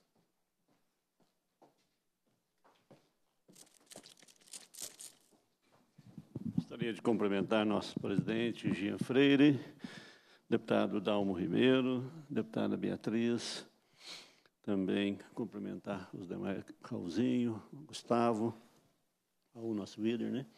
Deputado Gustavo Aladares, de forma especial nosso secretário Igoreto. E dizer, secretário Igor, que realmente o governo tem me surpreendido. Me surpreendido de forma muito positiva. Quando perdemos a eleição, o governador Romeu Zema assumiu, eu tinha assim, achava que era um governo que tinha dificuldade de administrar o Estado. Por falta de experiência, por falta de conhecimento. E também pela situação difícil econômica, extremamente difícil que o Estado estava sendo entregue naquele momento ao governador Romeu Zema, como também está aqui o deputado Guilherme da Cunha, e achava que seria que ele teria muita dificuldade. E ainda veio imediatamente no primeiro mês já o desastre de Brumadinho, que foi uma catástrofe. A deputada Sevias também cumprimentava, brilhante parlamentar. E se não fosse isso, ainda vem problema econômico que tinha na época, Brumadinho, de forma complicadíssima, e agora também esta pandemia. Ou seja, se o governo tivesse no fundo do poço, nós não tínhamos que compreender que era só problema. E o que a gente tem visto é diferente. Nós temos visto é muita coisa acontecendo, é muito resultado acontecendo, né, Raul? Vemos um governo de humildade, assim, de baixo em cima, todos, pessoal sem arrogância, pessoal compreensivo, preparado, e realmente as coisas têm acontecido. Temos visto aí tantas e tantas reformas de escolas, que estavam, escolas estavam, inclusive, caindo. Né? Um exemplo de Lagoa da Prata, essa semana, 500 mil reais. Inclusive, nós cobramos muito essa escola. O governo está ali colocando recursos. Enfim, é, para todo lado você vê as coisas em todos os setores. Né? É só olhar os números da, dos investimentos em Minas Gerais, passando aí dos 50 bilhões. Né? Ou seja, o empresário, a iniciativa privada está acreditando muito nesse governo, não é acreditando só na, na, na, na fala, não, é na prática, acontecendo. E isso é muito positivo. Quando eu anunciou essa semana já o pagamento já de até dois mil reais para todos os servidores, nativos e inativos, pô, gente, isso deixa a gente feliz de ver que participar e apoiar um governo que está preocupado com o servidor público. Né? Então, todo dia a gente tem visto notícias positivas do governo Romeu Zema. Então, secretário Igor, e Vossa Excelência, lá como secretário, tem nos surpreendido de forma atenciosa, de forma competente, de forma educada, tem atendido bem nossos deputados e, e atendido os pleitos realmente que são para o bem do povo mineiro.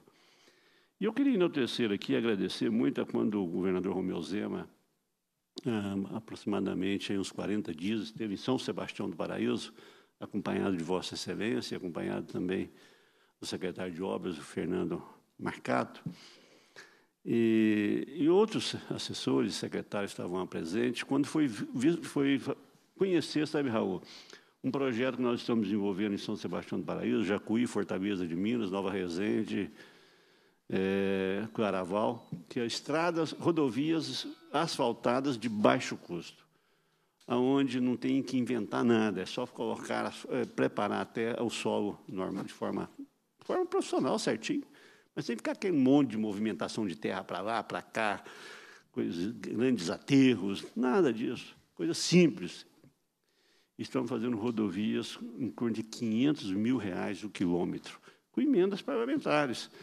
O secretário pôde lá ver, né, secretário, na prática, e com, e com vistoria do DR, com acompanhamento de gente profissional.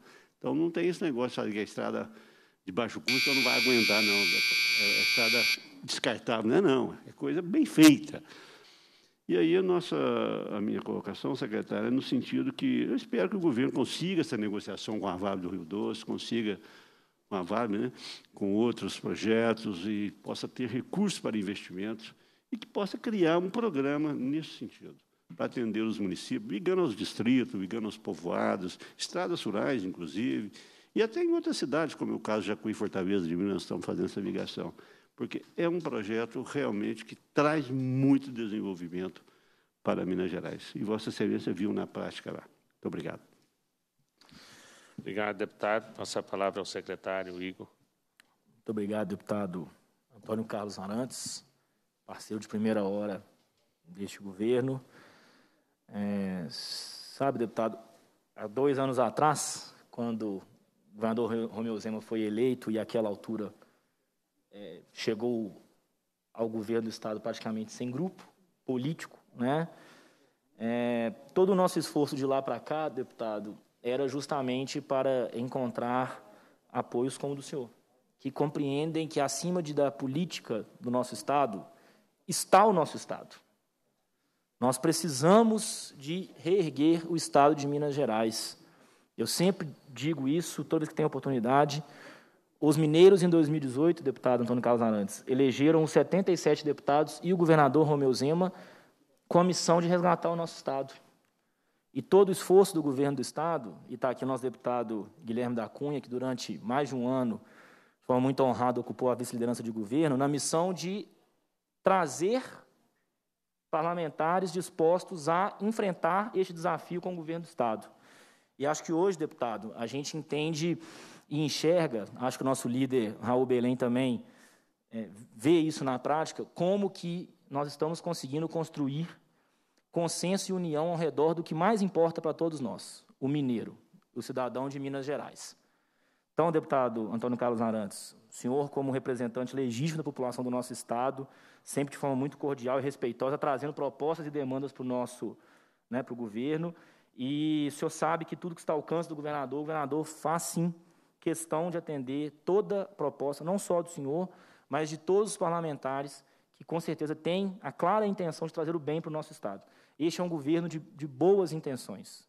Este é um governo que quer fazer o bem. O governador Romeu Zema, de forma muito clara, ele quer fazer o bem para o cidadão de Minas Gerais.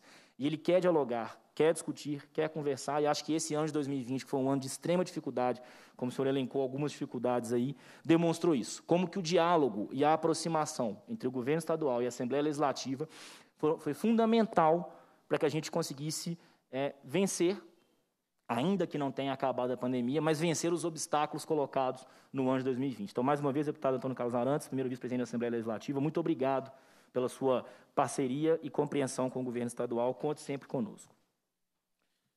Deputado Antônio Carlos. Passo agora a fala ao deputado Gustavo Santana.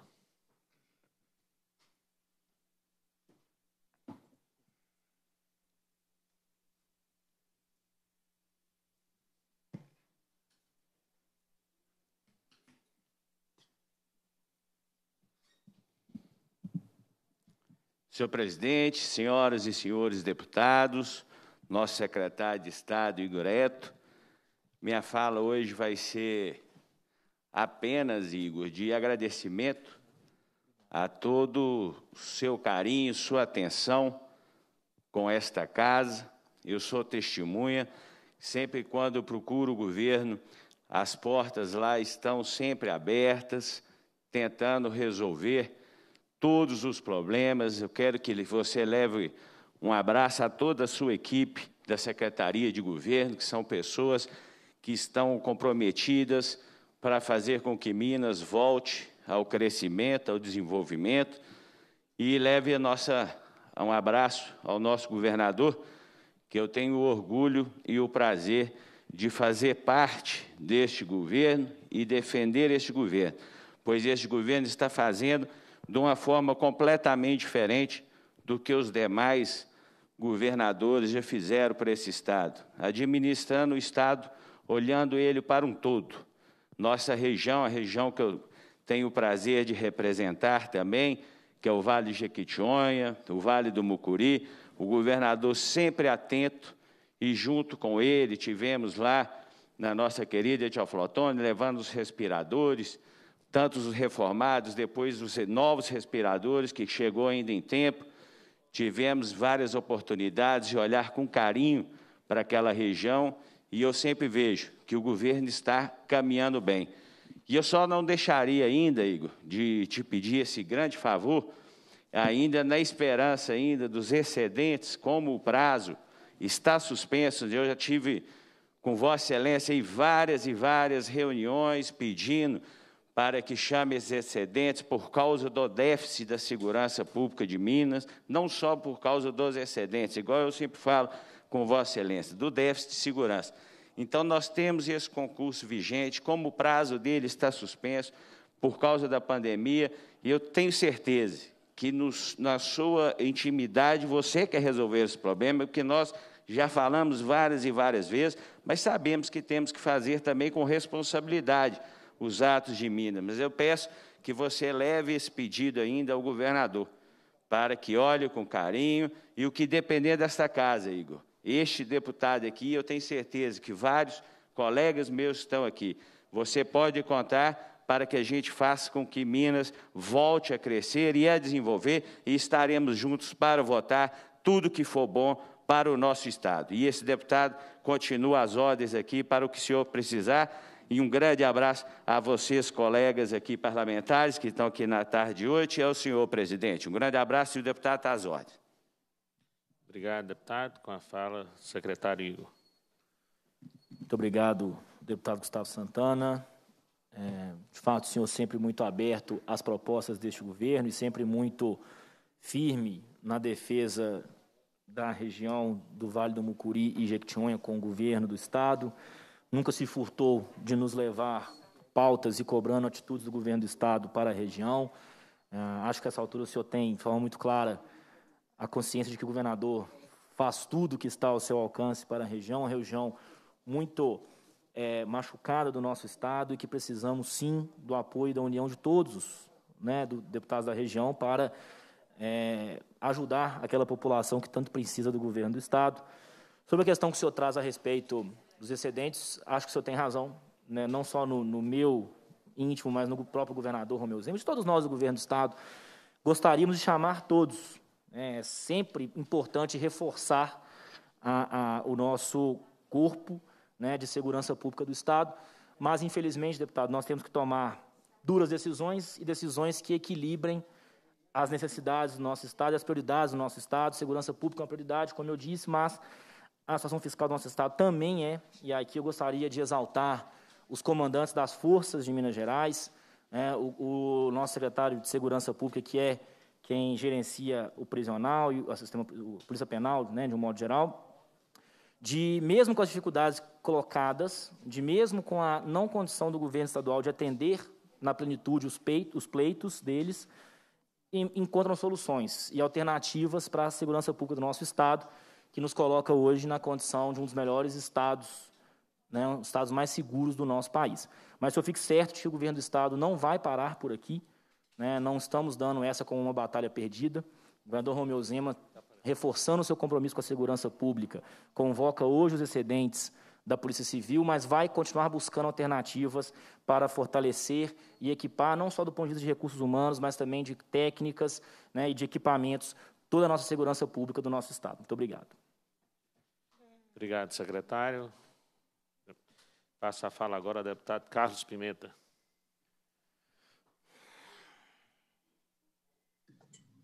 Boa tarde, meu caro presidente, doutor Jean Carlos. Em seu nome, eu quero cumprimentar os Jean colegas Carlos. e as colegas deputadas que estão aí presentes.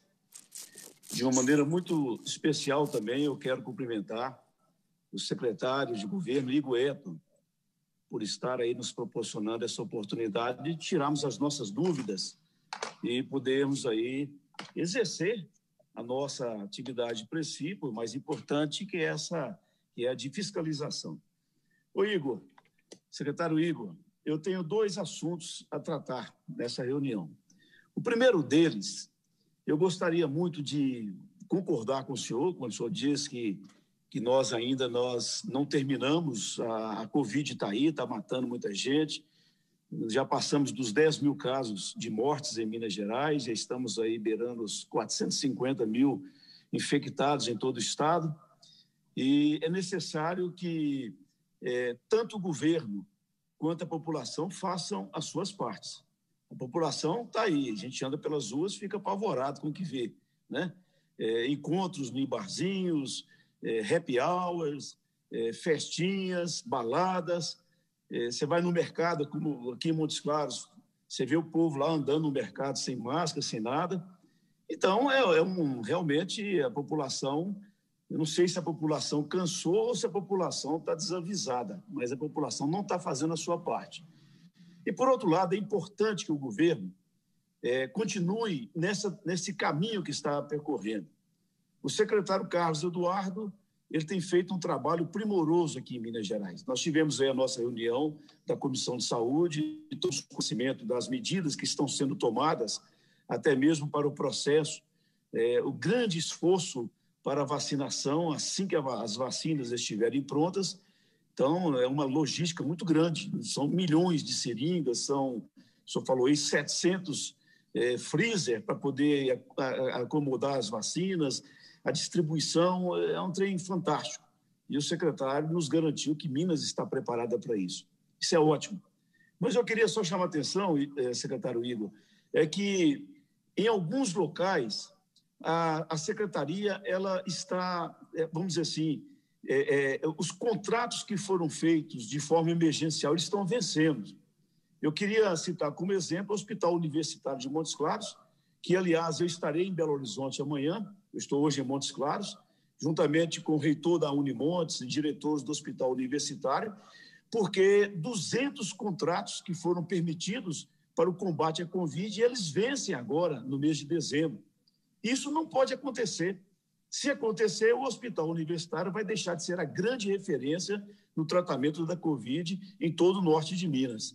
Então, é importante que os contratos provisórios é, do Hospital Universitário, da rede FEMIG, eles sejam renovados, porque nós não podemos ter os CTIs com respiradores, com as câmaras, com tudo pronto, mas não ter o, o material humano, que é o mais importante. Então, faço apelo para que o governo possa é, rever essa decisão de romper, ou de romper não, de aceitar o término dos contratos agora em dezembro. É, a, a, a, também outra coisa importante, recontratar os leitos de CTI. O Estado desativou os leitos de, de CTI porque a, a Covid estava num declínio, mas está voltando a crescer novamente. Então tem que voltar a recontratar os leitos de CTI em todos os hospitais de Minas Gerais. É o mínimo que Minas Gerais pode fazer, é o mínimo que o governo Zema pode fazer. Eu faço esse apelo como médico, como presidente da Comissão de Saúde, o doutor Jean está aí, ele sabe perfeitamente do nosso esforço. Nós temos aí vários colegas que foram contaminados pela Covid, o Duarte Berchi, a Celise Laviola, vários que estão aí sentados hoje com o senhor, claro que não estão contaminados, já passaram pelo período, mas eles são testemunha do esforço que é feito para que a gente possa controlar a Covid. E terminando, Jean, me permita eu queria fazer um, um apelo em nome do IDEN. O IDEN é o Instituto de Desenvolvimento do Norte e Nordeste de Minas Gerais, incluindo o Norte de Minas, Vale do Jequitinhonha e Mucuri. E o IDEN hoje ele é um órgão enfraquecido. Mesmo com toda a boa vontade do Nilson Borges, é um camarada correto, sério, capaz, competente, mas falta ao IDEN é, orçamento, Igor. E o IDEN ele pode ser esse fator de desenvolvimento de Minas Gerais, porque eu já falei isso com várias pessoas, inclusive com você, de que a recuperação econômica financeira de Minas Gerais pós-Covid vai passar pelo norte de Minas. E o IDENE ele tem que estar fortalecido. É, se você hoje pede o IDENE uma caixa d'água, se pede para poder abastecer uma comunidade, ele não pode fazer absolutamente nada, porque não tem o, o, o financeiro. E é importante que o IDENE tenha o financeiro para que ele possa atender a demanda dessas três grandes regiões. Prazer falar com o senhor, prazer revê-lo, e amanhã nós estaremos com o secretário de Saúde, e se for necessário, eu irei acioná-lo para que a gente possa dar esse suporte ao Hospital Universitário da nossa Unimontes, aqui em Montes Claros. Muito obrigado. Obrigado, deputado Carlos. Passa a fala agora ao secretário Igor. É, deputado Carlos Pimenta, muito obrigado pelas suas colocações. É, de fato, o senhor traz pautas que são muito importantes. Eu peço perdão, a mim não ficou claro se a questão dos contratos temporários na saúde, ao senhor referi, se referia, eram de pessoal é, ou de outros perfis de contrato. É, se for sobre pessoal, é, é, uma preocupação, sim, do governo do Estado contra a questão de contratos temporários, não só da saúde, mas de outras pastas também.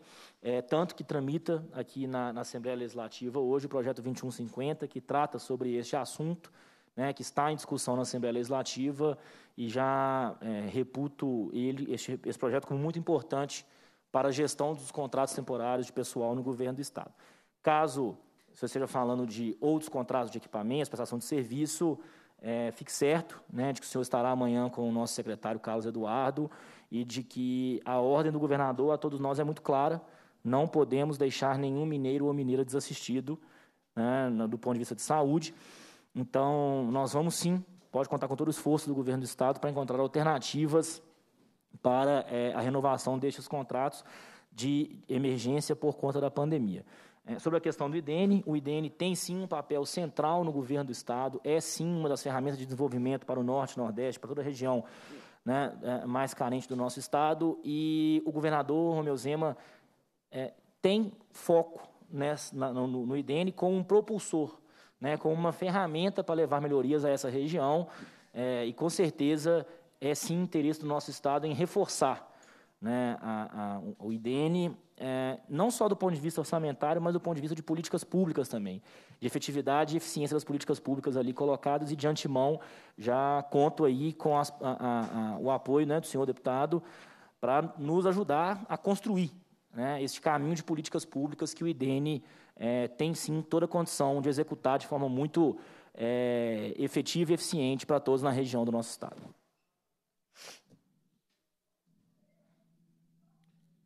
Deputado Carlos. O doutor Jean, eu quero apenas só esclarecer essa questão dos contratos administrativos. É, assim que foi o, o, hospital universitário, que pertence à, faculdade, à Unimontes, a nossa Universidade Estadual de Montes Claros, é o único hospital é, 100% SUS e pertencente ao Estado. O Estado tem a rede FEMIC, mas é uma autarquia. O único hospital que o Estado tem é o hospital universitário. E assim que começou, começaram os casos de, de, de aumentar, aumento da Covid, do coronavírus, das infecções, foi, foi, foi permitido para que o hospital universitário fizesse contratações temporárias. São médicos, são enfermeiros, são intensivistas, são fisioterapeutas, são biomédicos, é, enfim, são este pessoal que atua na linha de frente da Covid dentro do, dos, dos CTIs. E esse contrato, é, é, é, o prazo de validade dele é agora em dezembro.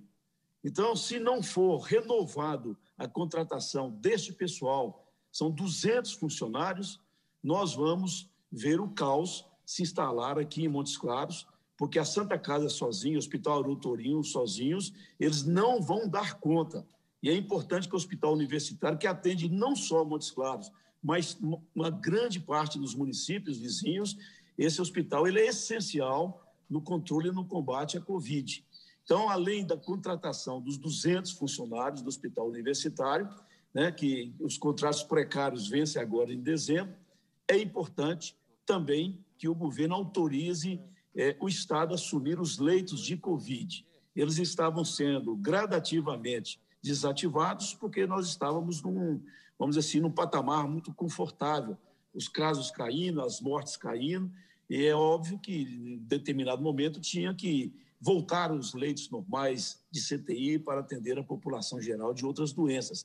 Mas já que está aumentando, já que nós estamos aí né, é, passando por essa dificuldade, o governo, é importante que o governo, não só em Montes Claros, mas em todos os municípios mineiros, que, que, o, que contratou leitos de UTI, que ele renove novamente os leitos de UTI, até que essa segunda onda, é, esse, esse aumento abrupto que está acontecendo, ele possa também ficar sob controle.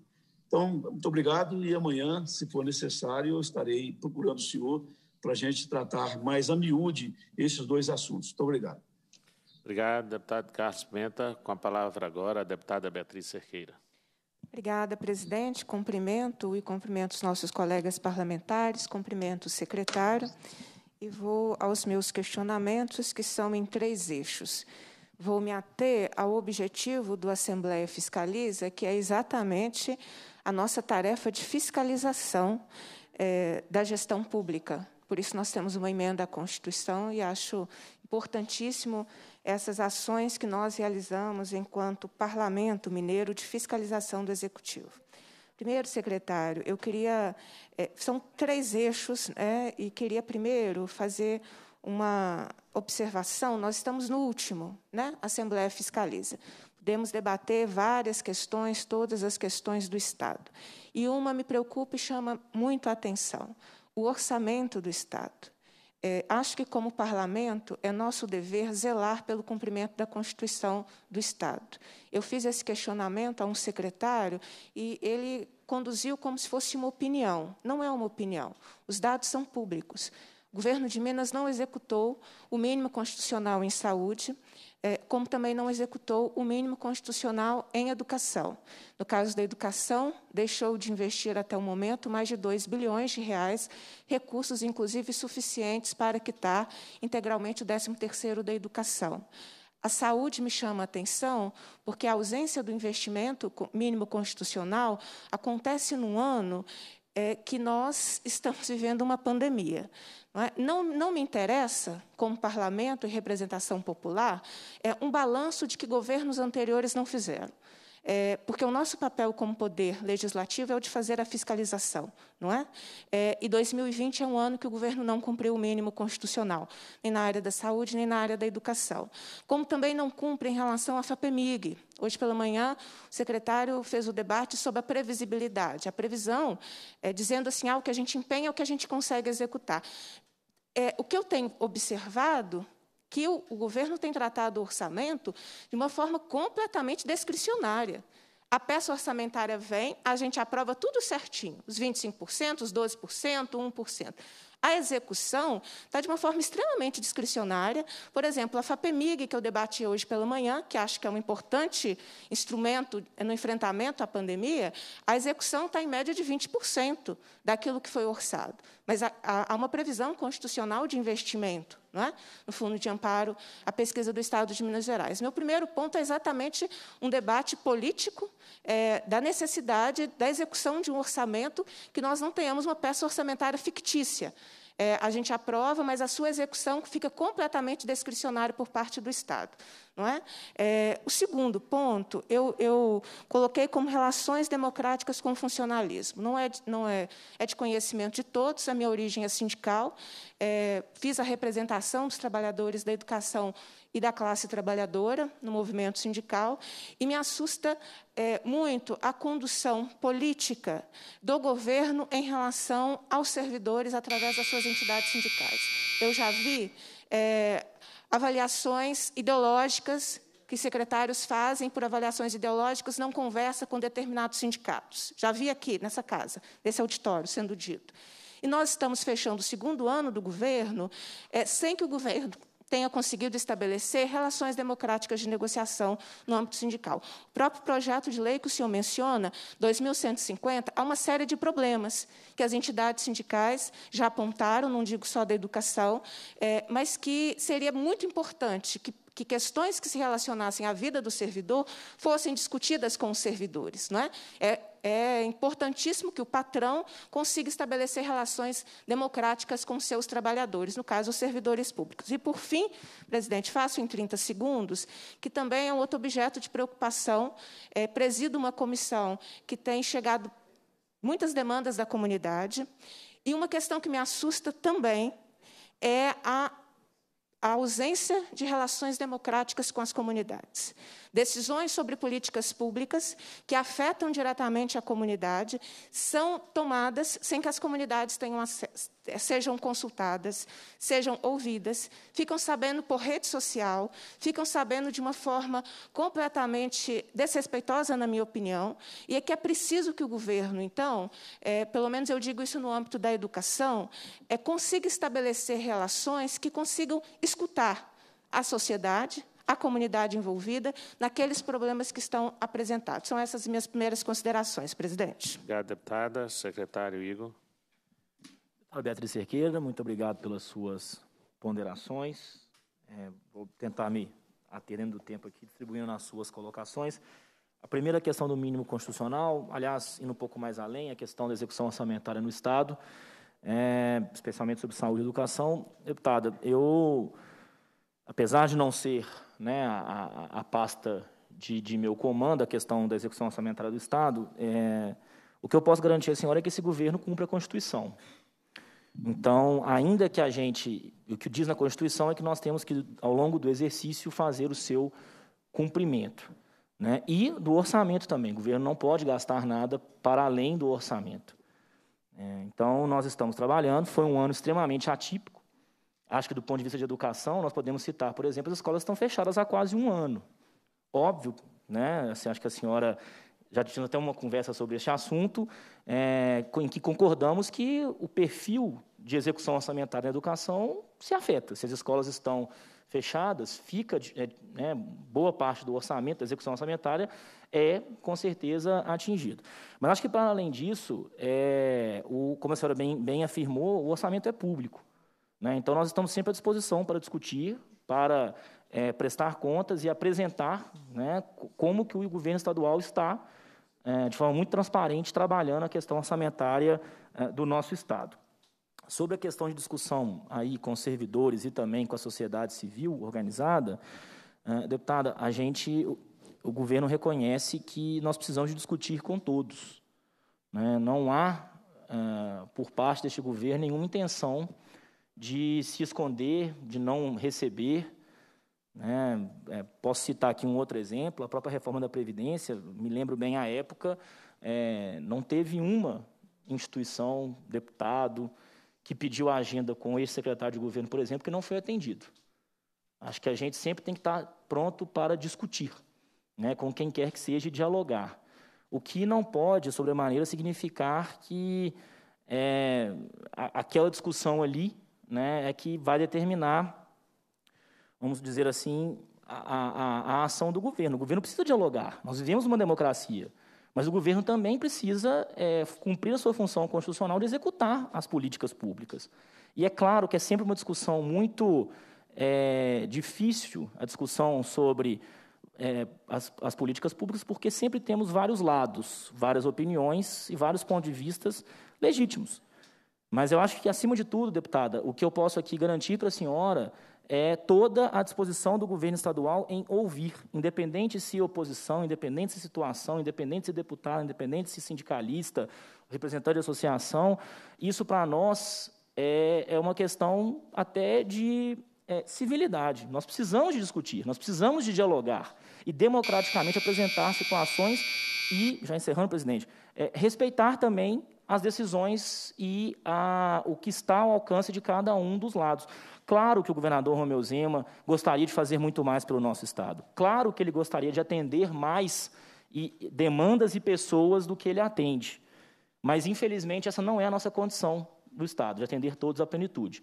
Então, a gente tenta, no limite da nossa é, condição, né, fazer o melhor para o nosso Estado e sempre contamos com o apoio e com as ponderações, com as críticas e sugestões, não só da senhora, mas de todos os mineiros que é, querem o bem do nosso Estado.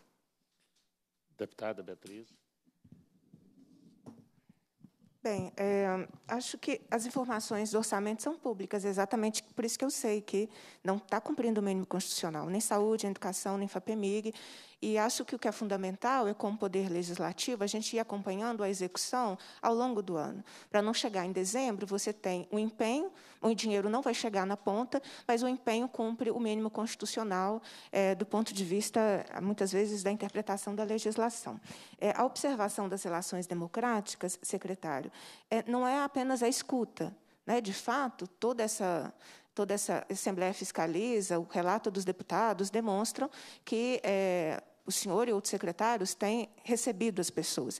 Não se trata disso. Se trata, por exemplo, da gente solicitar é, inúmeras vezes cronogramas de nomeações de concurso público, como deveriam ter sido 4 mil nomeações esse ano, a gente não tem resposta. Eu não tenho resposta da Comissão de Educação, o Sindut não tem resposta de um cronograma, apesar de muitas reuniões. Então, o debate é como estabelecer relações democráticas, né, para além da escuta. Eu vou gastar o último minuto que me resta é, presidente, para fora do assunto do Assembleia Fiscaliza é dizer exatamente é, que o nosso papel como bloco parlamentar nessa casa e como bancada de oposição tem sido um, um comportamento é, de propositivo. Não achei é, correto, é, não concordo com a avaliação feita por colega parlamentar de que é, nós não, esse julgamento né, de governo, pessoas do bem, política e gestão pública não se faz dessa forma.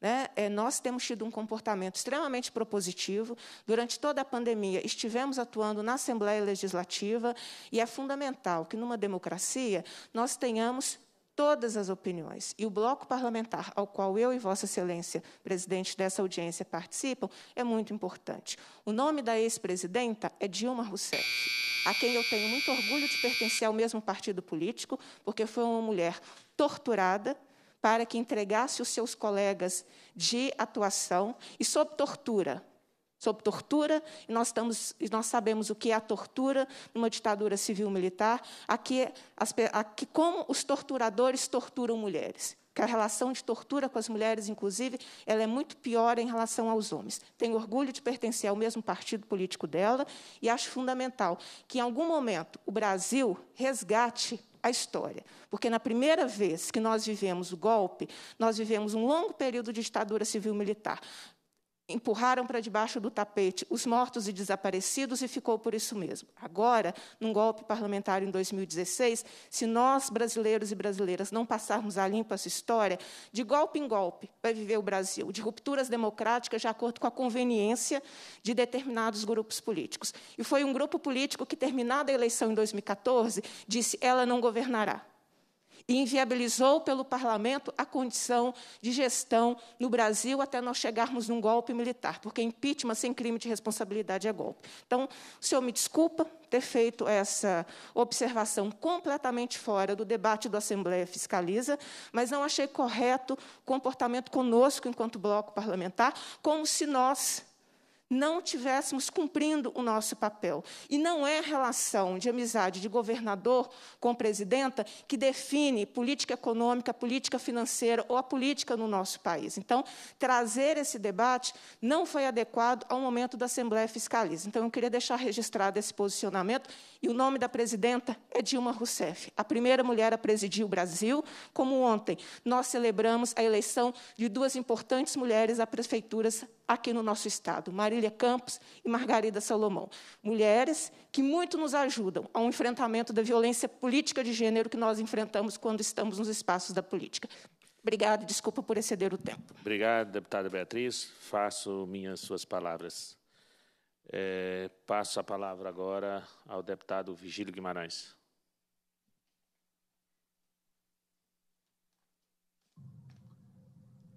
Presidente, deputado Jean, secretário Igor, demais colegas, deputados e deputadas, eu não poderia deixar de pedir licença para me somar à deputada Beatriz, que me antecedeu aqui. Não é tema, mas, de fato, me pareceu é, extremamente inoportuno e mal colocado toda essa questão a respeito de o que poderia ter feito o governo anterior é, do PT em Minas Gerais vis-à-vis -vis do governo federal. Na, na realidade, em 2015 não houve mais governo, foi impedido de governar, o impeachment foi concluído depois, mas ele já começou em 2015, e também os ataques, a inviabilização política do governo Pimentel. Mas eu queria até aproveitar isso e me somar inteiramente às palavras é, da minha companheira Beatriz Cerqueira, Vai dizer que outra coisa também que envolve esse mesmo assunto é que muitas vezes nós deixamos nos levar por alguns enganos. Um, um deles, uma lenda que existe, é que o governo federal pode tudo. Não pode. Não pode. É, não é que teve só a questão da inviabilização do governo Dilma e do governo Pimentel em 2015, 16 já, já caiu, não houve esse convívio. Houve uma tentativa até de fazer o acordo com o governo Temer, o que acabou não ocorrendo. Mas o assunto principal é que é, é, é essa ideia falsa de que o governo federal tem muito recurso, ele resolver tudo, Isso serve para aplacar a nossa consciência e para não fazer nossa parte. Nós temos que fazer nossa parte. Já tem 150 anos, eu vejo aí o deputado Eli, meu presidente, que gosta de citar os clássicos. O Stuart Mills disse, é um dos fundadores da ciência econômica moderna, já disse há 150 anos atrás, mais ou menos, que a economia é uma ciência cruel. Ela é antipática, porque coloca, destrói sonhos. Ele disse que era tão antipática quanto a, lei da gravidade. O problema é esse. Diz, dizia ele há 150 anos. A lei da gravidade também é insensível. Pega pessoas boas, amáveis, velhinhos, mas que desconhecendo a lei da gravidade com tomos terríveis. A lei da gravidade não as perdoa por isso. Ele quebra perna, quebra braço, coloca o pescoço, perde a vida. Fazer o quê? É, trabalhar em cima de ilusão não resolve nada. Né? Nós já passamos isso agora nessa discussão meio mirabolante que se criou aí da Lei Candia, nós vimos que isso não existe, não, não, não, não rende nada. Nós não podemos trabalhar em cima disso. Os, os recursos do governo federal, os, o, o, a, a, carga tributária líquida é um terço para o Estado, um terço para os municípios, um terço para a União. Se alguém duvidar, vamos pegar a estatística e ler. Não adianta eu somar o que o, o governo federal recebe de contribuição de previdência, de, de verbas é, que, ele não, que, ele não, pode usar. O, a carga líquida, tirando aquilo que é devolvido em dinheiro para o cidadão, não estou somando aqui salário, não. É, estou falando os incentivos fiscais e todas as contribuições, o reintegra, e vai. Então, não adianta trabalhar sobre, sobre essa lenda. O Estado tem que fazer a parte dele e nós, a Assembleia, tem que fazer a nossa. Eu sou oposição, não é por uma questão política, é por uma questão de posições que são diferentes. Eu gostaria de um, de, um, de um Estado mais interventor, ou seja, eu sou a favor do estatismo, do, do estatismo, do gigantismo estatal. Atribuir à esquerda o gigantismo estatal é um desconhecimento absoluto. Então, nós temos que fazer reformas com certeza, e o melhor aproveitamento, com certeza, dos nossos recursos patrimoniais. Temos que fazer isso sim. Eu sou contra a privatização mas é preciso uma incorporação é, intensa da colaboração de atrair os recursos privados, desburocratizar, fazer esse esforço, fazer na área da, da Copasa. O próprio governo Pimentel criou o, o, o, o que é para isso, para fazer essas parcerias. Enfim, não vou estender, que já me deu o último minuto aí, final. Mas tem uma vasta questão a ser feita, mesmo até, acredito, na área também tributária, que nós poderíamos ser mais ofensivos na questão tributária, tem proposto isso. Eu sei das dificuldades, que parecem ideológicas, do, do governo, mas tem um amplo campo de, de ação que pode e deve ser implementado na área da, da, da, da reforma das reformas e revisões da, da, gestão patrimonial em todos os seus sentidos e, e também na, na atração de investimentos, nas parcerias, na desburocratização. Não, não, não, é a solução gigantismo estatal. Isso não é da esquerda, isso não está em clássico nenhum, não conheço isso, manual nenhum, não, não, não conheço isso. Eu conheço aqui, são outras coisas que vão definir a mudança do modo de produção e o avanço social que, que a esquerda propõe, o PT tenta fazer e eu participo, mas não impede de colaborar com o governo naquilo e, com, e principalmente via Assembleia Legislativa, naquilo que for necessário ao povo mineiro. Secretário. Se as palavras do deputado Virgílio Guimarães e dizer que, é, de fato, quando ele disse que, apesar de estar em posição de oposição a este governo, é, ele sempre se relaciona de forma muito clara, objetiva, respeitosa e propositiva com este governo. Eu acho que é assim que as, que as democracias é, crescem e se fortalecem. É, e se nós queremos um país desenvolvido, um país de primeiro mundo, é necessário que a gente tenha uma democracia forte, respeitosa, é, e o deputado Vigílio Guimarães, com certeza, caminha nessa direção. Então, muito obrigado, deputado. Deputado Vigílio, mais dois minutos. O secretário, pode continuar nesse sentido, contando comigo, conta, conta com, com a Assembleia. Nós temos muito que fazer. Eu já estou numa idade mais provecta, não estou na idade mais para ficar fazendo coisas para um futuro tão longínquo assim.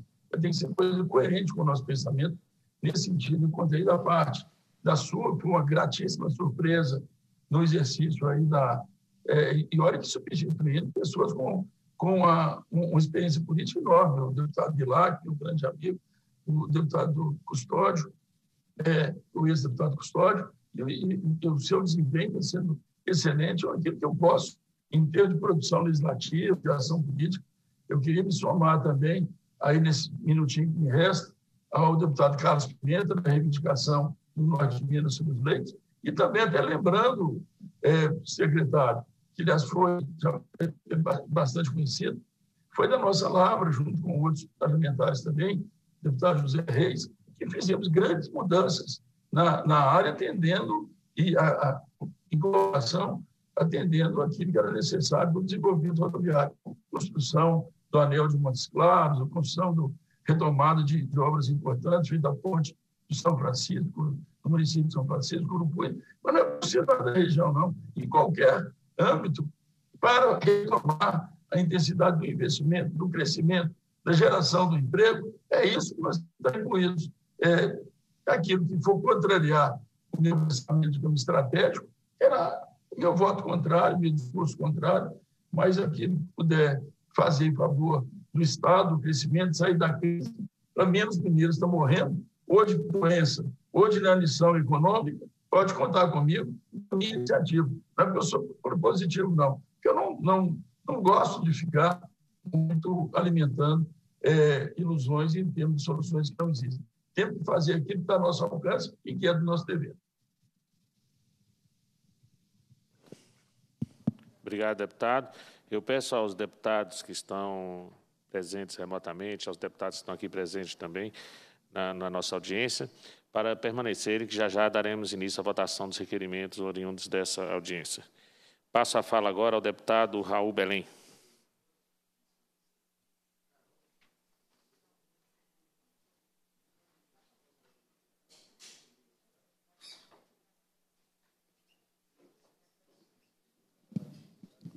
Presidente Jean Freire, nosso secretário de governo Igoreto, deputada Beatriz, deputada Celis, deputado Gil, todos os deputados que nos acompanham remotamente.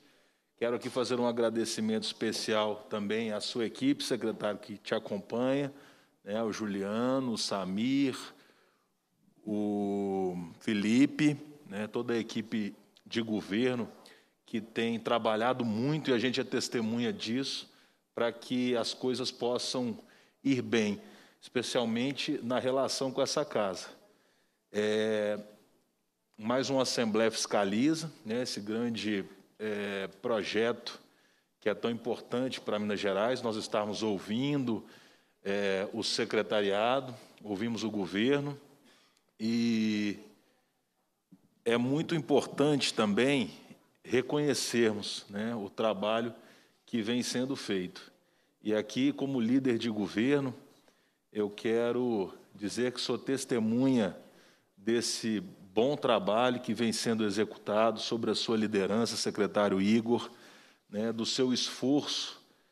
É, essa é uma casa, é, eu não tive aqui em outros momentos, mas assim, de fora eu consigo perceber que é uma casa que tem uma grande independência por tudo que, que foi modificado né, nesses últimos anos, e o governo tem lidado de forma muito respeitosa com isso.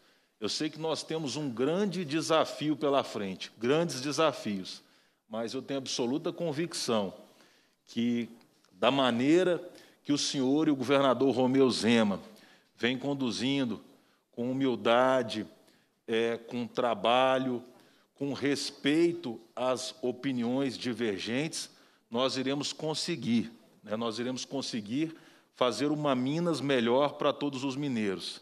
É, sabemos que os desafios são inúmeros, são muitos, mas rodando o estado de Minas Gerais, a gente consegue perceber que existe uma grande confiança no governo do estado de Minas Gerais.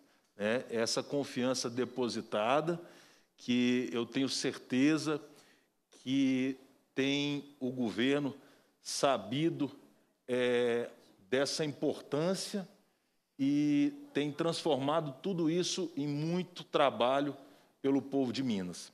Nós sabemos que precisamos buscar é, soluções, precisamos buscar é, recursos para poder chegar à ponta, chegar às pessoas, mas aqui, mais uma vez, como testemunha, quero dizer que o governo é bom pagador dos seus compromissos. E isso gera é, uma, uma confiança, gera um crédito para qualquer governo, né? em momento de, de dúvida, em momento de incertezas. Então, isso é, é uma característica desse governo que vocês têm imprimido, né? um governo que respeita a todos, um governo que paga suas dívidas, independente é, de que partido é o prefeito, é um governo republicano. E nós precisamos reconhecer isso. E precisamos entender que esse debate, talvez de PT, PSDB, ficou para trás. É um governo novo, é um governo que vem para fazer um trabalho diferente, pois assim o povo de Minas quis.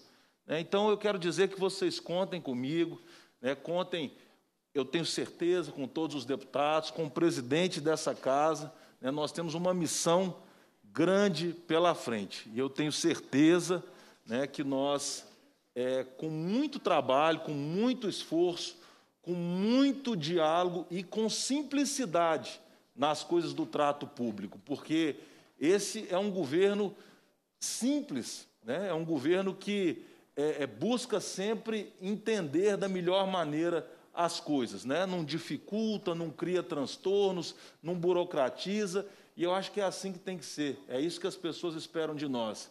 Então, conte conosco, conte com o nosso trabalho, desejo muito sucesso, que Deus continue abençoando, fortalecendo cada vez mais, né? não só o governo de Minas, mas a nossa casa, né? os deputados, o povo de Minas Gerais, eu acho que é o mais importante. Né? O mais importante é o povo de Minas Gerais. E eu acho que esse avião que o senhor mencionou aqui, que vai decolar, que está decolando, se Deus quiser, nós, como é, tripulantes, como pessoas que, que torcem para que isso dê certo, nós precisamos trabalhar muito para que esse avião fique em boa altura e que esse voo possa transcorrer muito bem, se Deus quiser. Muito obrigado, secretário, obrigado a todos. Palavra, secretário Igor. Deputado Raul Belém, nosso líder de governo, gostaria apenas de concordar e corroborar com as palavras ditas aqui por Vossa Excelência e dizer que, para nós, deputados, especialmente para mim, na condição de secretário de governo e para o nosso governador Romeu Zema também, ah, nós temos muita gratidão, senhor, por ter topado o desafio de liderar né, este governo aqui na Assembleia, este governo que não é um governo fácil pela condição política em que ele foi eleito, não é um governo fácil pelos desafios que Minas Gerais já vinha enfrentando, e não é um governo fácil, infelizmente, pelos desafios que se colocaram da eleição de 2018 para frente. Mas ainda assim o senhor topou a assumir a liderança deste governo e de forma muito competente e brilhante, tem conseguido é, fazer a intermediação né, e aproximar cada vez mais a Casa Legislativa do governo do Estado.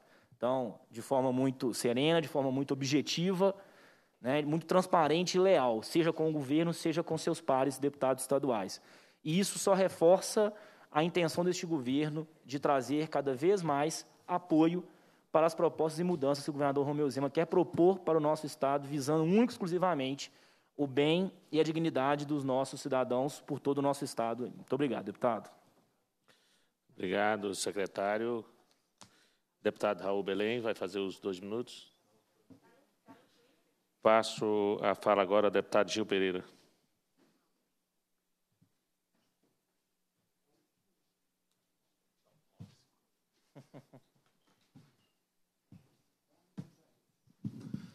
Boa tarde, presidente Jean Freire. Na sua pessoa, quero saudar a todos os deputados, né, a nossa deputada Celise, a Beatriz, ao nosso líder Raul, saudar o secretário de governo Igor, é, dizer, Igor, que é, você está de parabéns. Eu, eu, eu sinto né, em você a vontade é, de acertar e tem lutado para isso, né, a, facilidade de, de, de, comunicação, de receber os deputados, é, os prefeitos, as lideranças.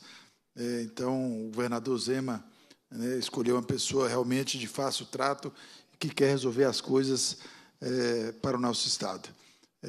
Falando aqui, eu sou um deputado distrital do Norte de Minas, então falo muito de sol, de água, e primeiro é também falar das palavras que o deputado Casmenta, agora há pouco estava falando com o prefeito de Montes Claros, Humberto Soto, infelizmente a, a onda né, começou a subir lá, eu já tinha falado com o secretário através né, de Vossa Excelência, com o caso Eduardo, para que possa aumentar né, o, o, número de leitos da nossa cidade, que o Estado possa bancar isso, porque realmente, e amanhã às 10 horas da manhã estarei com, com o secretário é, Casa Eduardo, né, é, falando sobre esse tema, sobre a Santa Casa também. Então, quero agradecer Vossa Excelência.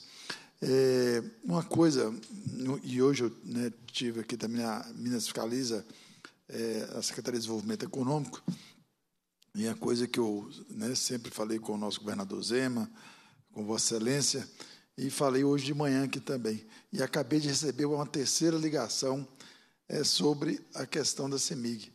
Né, eu sei de todas as dificuldades, da boa vontade do governador, é, mas sei também da ansiedade dos empresários que estão aqui. Se eu ligar aqui agora, depois eu vou te mostrar, um empresário acabou de ligar para mim e oh, eu estou precisando que a CEMIG é, me mostre o caminho, eu estou precisando ligar 12 é, usinas fotovoltaicas, estou em dificuldade. Então, mandou o e-mail aqui, vou passar para Vossa Excelência. Então, realmente, assim, é, o Estado tem credibilidade, né, o governador deu essa credibilidade, é, tem investidores nacionais, internacionais que estão vindo para cá e, né, como o próprio governador é, tem falado, quer dizer, a, a, a CEMIG tem sido um pouco a trava do, do nosso desenvolvimento. Então, é, a nossa região, o norte de Minas, né, o, o, o Vale de Jequitinhonha, né, tem grandes possibilidades é, de, de, de, de, ter essas plantas, já estão tendo essas plantas, de ter uma é, investimento, já está né, assinado mais de 30 bilhões de investimentos na área de usina solar fotovoltaica, e o próprio prefeito Humberto Souto pediu, né, fala com o governador que Montes Claros também está precisando de uma nova, é, é, é, de uma nova subestação, porque aqui já está carregada. Quer dizer, isso é um bom problema. Um bom problema porque né, tá indo empresários, estão indo investidores, e nós temos a condição de receber mais.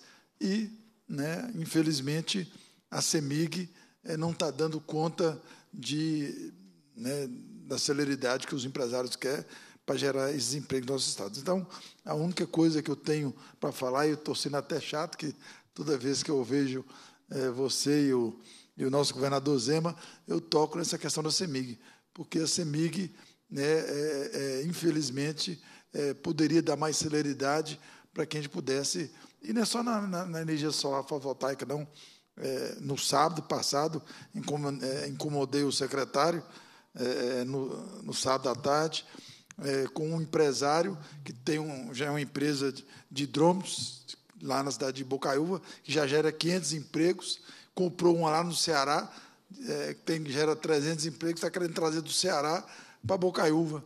Por que, que não trouxe ainda? Por causa da CEMIG. Então, é, é só essa ponderação, secretário, e agradeço né, pela sensibilidade, pelo trabalho que vem fazendo à frente da secretaria. Secretário. Deputado Gil Pereira, gostaria de agradecê-lo pelas suas colocações. É, de fato, sempre muito receptivo em, e propositivo também em relação às questões do norte do nosso Estado. É, sobre a CEMIG, comentando rapidamente, já tivemos conversas sobre este assunto. É, acho que está no papel né, do deputado senhor trazer as ponderações, não, de forma alguma é, isso te, te, de forma inconveniente, pelo contrário, sempre muito propositivo, sempre muito correto com as suas ponderações. E eu corroboro aqui com a fala do senhor de que a CEMIG está numa situação muito delicada, mas independente disso, ela tem a obrigação de encontrar soluções para os seus problemas, né? ainda que não sejam soluções ideais, é, mas aqui eu gostaria de reafirmar o compromisso do governador Romeu Zema de buscar alternativas para a CEMIG. É, não só alternativas, como muitas vezes já foi dito, de desestatização, de privatização, que esta é, é sim uma pauta importante. Eu, eu, entendo, deputado, que a esta altura é, é uma pauta que deveríamos, é, tem, a gente tem condição de discuti-la, é, não aprova ou reprova, mas discutir alternativas para a CEMIG. Né? Mas, para além de desestatização, como que a gente faz com que a energia chegue no nosso Estado e como que a gente facilita o desenvolvimento econômico e geração de emprego e renda no nosso Estado. É, para o governador, o senhor tem toda a razão, deputado, é muito claro a necessidade, quer dizer, a condição de que hoje a condição energética do nosso Estado é, sim, uma das travas para o nosso desenvolvimento. E nós precisamos encarar esse problema de frente. E contamos aí com o apoio do senhor e com todos os deputados aqui na Assembleia Legislativa para discutirmos propostas e soluções que, de uma vez por todas, tire essa trava do nosso desenvolvimento e dê condição ao Estado de Minas Gerais de, de se desenvolver e trazer mais geração de emprego e renda para todos do nosso Estado. Deputado Gil. É, agradeço né, as colocações, eu tenho certeza que está tendo todo o empenho de você e do nosso governador. É, um último tema que eu gostaria de falar, e também já levei ao governador, a você, é, o governo federal é, é tem, sim, podia investir mais na, no nosso Estado. E aqui eu estou falando também regionalmente, é a questão da barragem de Itaí. Lá já foi investido 176 milhões, tem mais 24 de emendas é, do, do, dos parlamentares da, da, bancada federal do dia do, do 18 para 19. É, o ano passado teve mais é, um aporte, esse ano um aporte mais de 50 milhões. Então, é, pedir a força do governador para que o presidente, né, o presidente da República e o ministro Desenvolvimento Regional, de Integração Nacional, é, o Rogério Marinho, possa licitar logo essa obra. Essa obra ela vai jogar 34 metros cúbicos de água no São Francisco. É, só para você ter uma ideia, a transposição toda, nosso líder, é 26 metros cúbicos que gasta na transposição. E só essa barragem vai gerar 34 metros cúbicos. Então, para que ela possa, né, além de, de ter esse é, represamento da água, para também que lá possa ter né, esse projeto Jequitaí, que são 35 mil hectares, cada hectare gera um emprego direto, gera dois empregos indiretos, então estamos falando né, em aproximadamente é, 100 mil empregos diretos e indiretos a 90 quilômetros de Montes Claros, a 60 quilômetros de Pirapora, a 380 quilômetros de Belo Horizonte. Então, é agradecer e pedir mais esse apoio né, de Vossa Excelência, do governador Zema, para com o, o, governo federal, na integração nacional e também do presidente da República. Muito obrigado e parabéns pelo seu trabalho. Obrigado, deputado. Passo a palavra agora ao deputado Ulisses Gomes.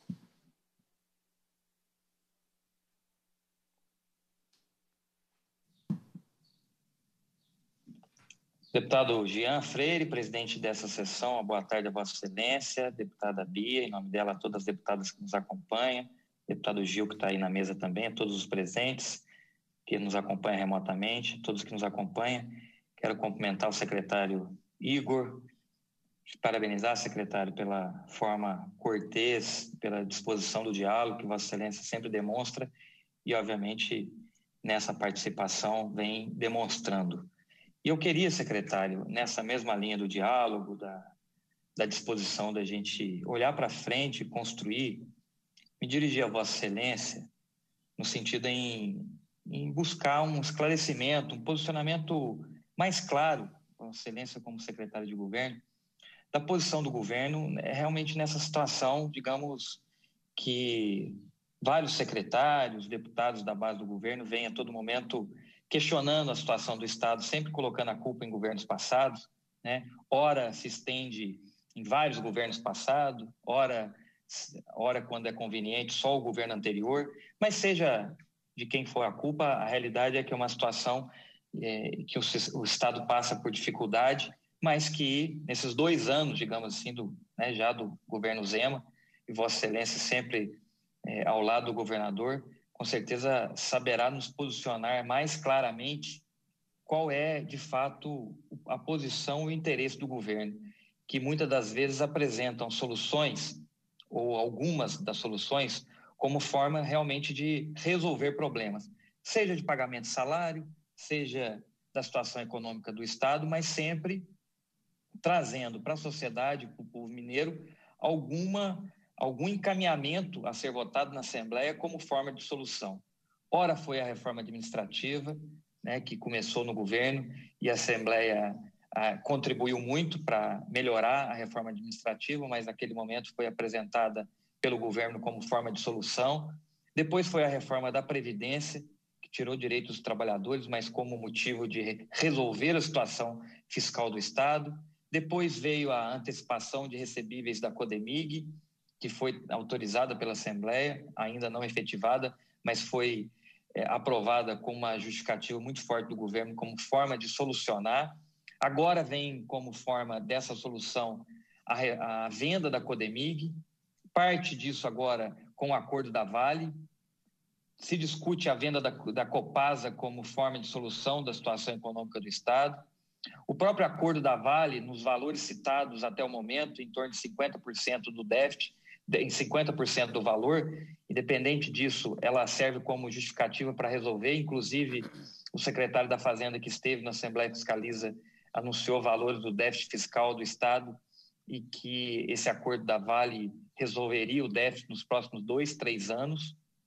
É, no caso da Codemig, secretário, um dos deputados que me antecederam é, se posiciona conforme a conveniência, porque no governo passado entrou com ação contra o governo que pretendia é, vender no governo passado 49% da Codemig e não conseguiu porque este deputado que hoje que foi contrário é, ao nosso governo, foi contrário à candidatura do governador Zema, hoje é da base do governo, naquela época entrou contra a venda da Codemig e hoje defende, então, na verdade, se posiciona conforme a conveniência.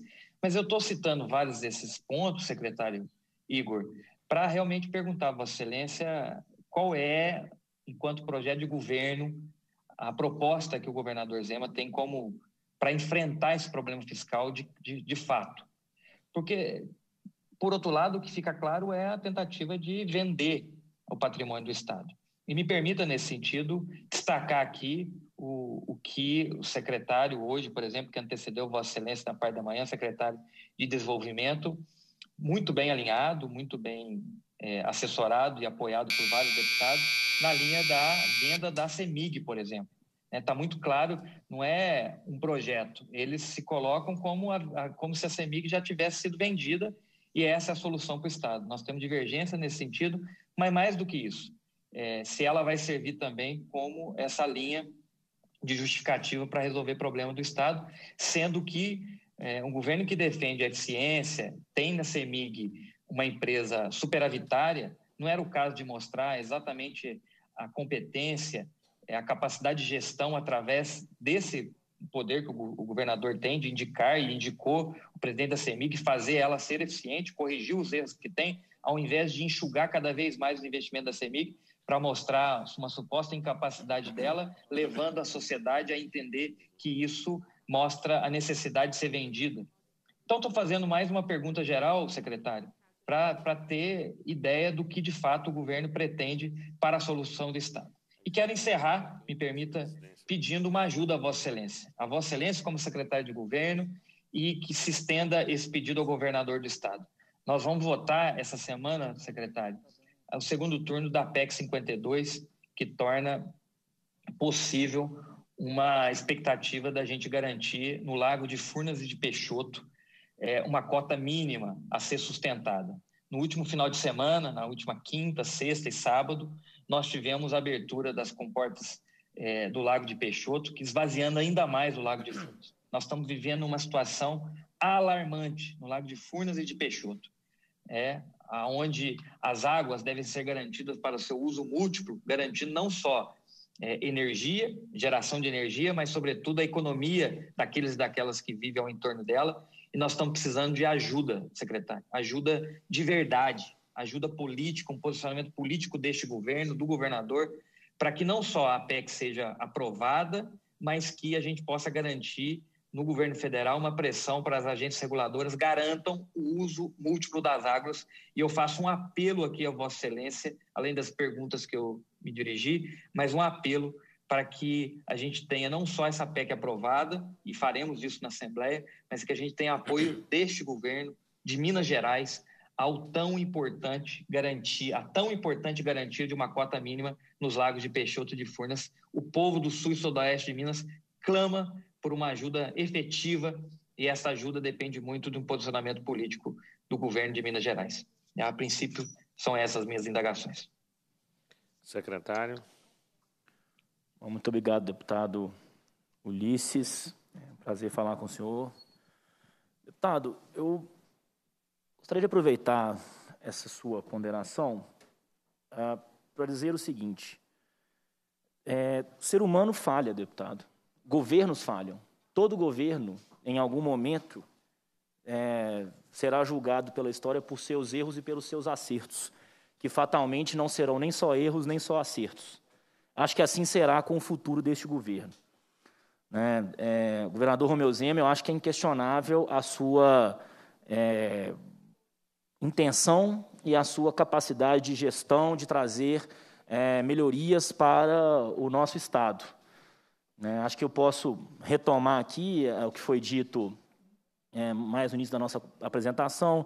Nós estamos falando, né? então, o que, que está ao alcance deste governo? Nós podemos falar nos melhores índices de segurança pública do nosso Estado dos últimos 10 anos, podemos falar no melhor índice de educação da história do Estado de Minas Gerais, podemos falar que Minas Gerais hoje está batendo recorde de geração de empregos no nosso Estado, podemos falar que Minas Gerais hoje tem a melhor performance é, de Covid-19 do nosso país. É, então, isso demonstra, deputado, que é, boas intenções e que de capacidade de gestão é, este governo tem. Em que pese o fato de que a proposta política desse governo, como o senhor bem colocou, é de retirar Minas Gerais da grave situação fiscal em que ela se encontra, a partir da geração de emprego, renda, simplificação, desburocratização, para facilitar a vida de quem quer produzir e empreender no nosso Estado, qualificação da mão de obra a partir de, de é, atitudes na educação, né? além de, obviamente, uma reestruturação ah, da questão fiscal do nosso Estado, que nós precisamos de enfrentar essa situação. É, sobre a questão da, da Assembleia, quando o senhor coloca, é, o governo traz as suas propostas, mas ele sempre coloca a Assembleia no meio do caminho. Deputado, é, eu entendo que, a esta altura, governo e Assembleia Legislativa já encontraram é, formas né, de se relacionar, de conversar, de se articular, porque, afinal de contas, deputado, é uma questão constitucional. Né? Em democracias, é, governos governam por leis. E quem aprova leis e quem vota leis é o Poder Legislativo, no nosso caso aqui, a Assembleia Legislativa, como naturalmente o senhor é, bem sabe disso. E é isso que eu gostaria de reafirmar na minha fala, deputado. Como a Assembleia, e aí eu posso até citar o senhor como é, representante do bloco de oposição ao governo, é, tem dialogado conosco. Mesmo com divergências de ideias, os senhores não se é, privam né, de conversar com este governo, de dialogar com este governo. E eu acho, uh, deputado, que este deveria ser o nosso foco nesse momento. Acho que, independente de é, jogar, né, assim, quem vai ser responsável por isso, o governo, a Assembleia, deputado, eu entendo que governo e Assembleia são os responsáveis por trilhar novos rumos para o Estado de Minas Gerais, para os 21 milhões de mineiros que estão lá fora confiando no trabalho de todos nós que estamos aqui dentro. Então, já finalizando, presidente, é, o que eu gostaria de fazer aqui, deputado, é de agradecer todo o esforço e toda a dedicação de todos os parlamentares da Assembleia Legislativa e que a gente é, entendesse que mais importante que construir muros, ah, quem está jogando a responsabilidade para quem, a gente continue neste caminho de construir pontes, de diálogo, de discussões. Né? O senhor ponderou sobre CEMIG. Logo antes eu falava sobre a visão do governador, eh, de ser contra a, CEMIG, a privatização da CEMIG. Logo antes eu ponderava aqui sobre a visão do governador de ser a favor da privatização da CEMIG como uma das soluções para a questão energética do nosso Estado. Acho que mais importante, deputado, de que é, quem está certo né, é, se a CEMIG tem ou não tem que ser privatizada, é que a gente possa discutir, deputado Gil Pereira, a CEMIG em si. Propostas para a CEMIG. Eu acho que a essa altura, usando a CEMIG como exemplo, todos nós concordamos de que ela precisa de uma reformulação. Algo na CEMIG tem que ser feito. A CEMIG não pode continuar no rumo que ela está trilhando hoje. E aí, deputado, é, deputado perdão, Ulisses, é, o que eu gostaria de dizer é exatamente isso. É, vamos continuar exercendo as nossas funções constitucionais, Poder Executivo, Poder Legislativo, discutindo as pautas que a gente já vem discutindo. É, Para finalizar, senhor presidente, o senhor citou, deputado, a questão da reforma da Previdência. Eu acho que ali foi um exemplo claro de como que, de forma democrática e republicana, ainda que com discordâncias, nós construímos, governo estadual e Assembleia Legislativa, né, o melhor caminho, ou o melhor caminho possível para a previdência do nosso Estado.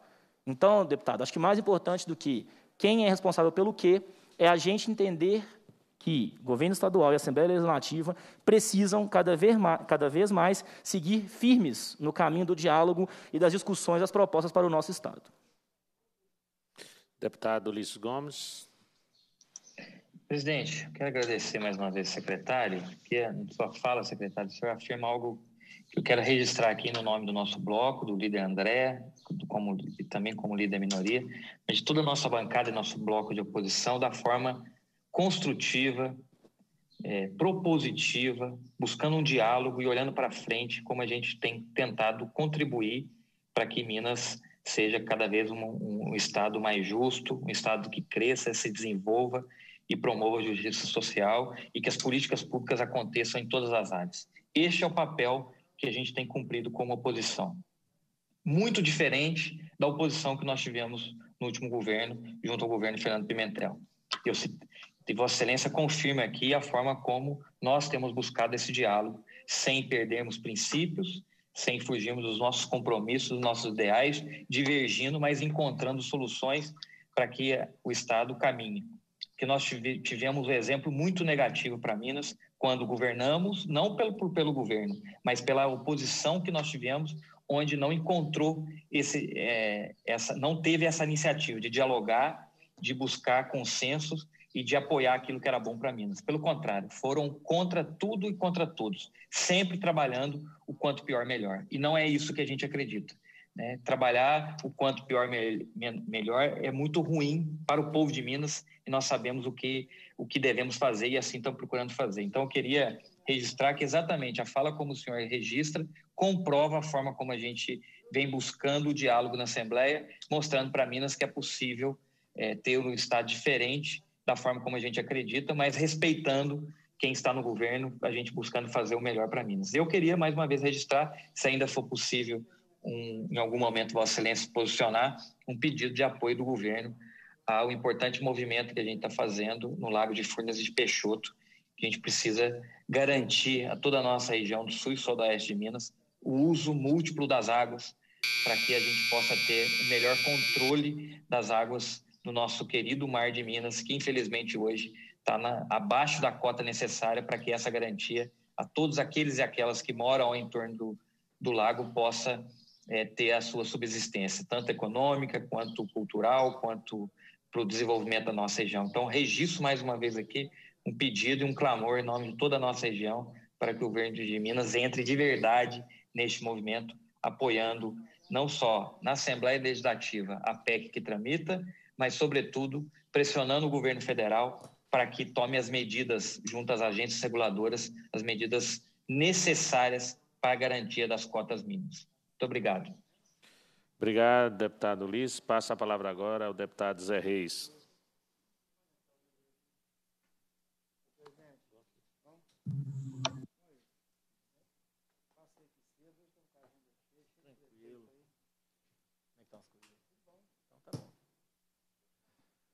Ele está no mudo. Deputado, ligue o microfone, por favor.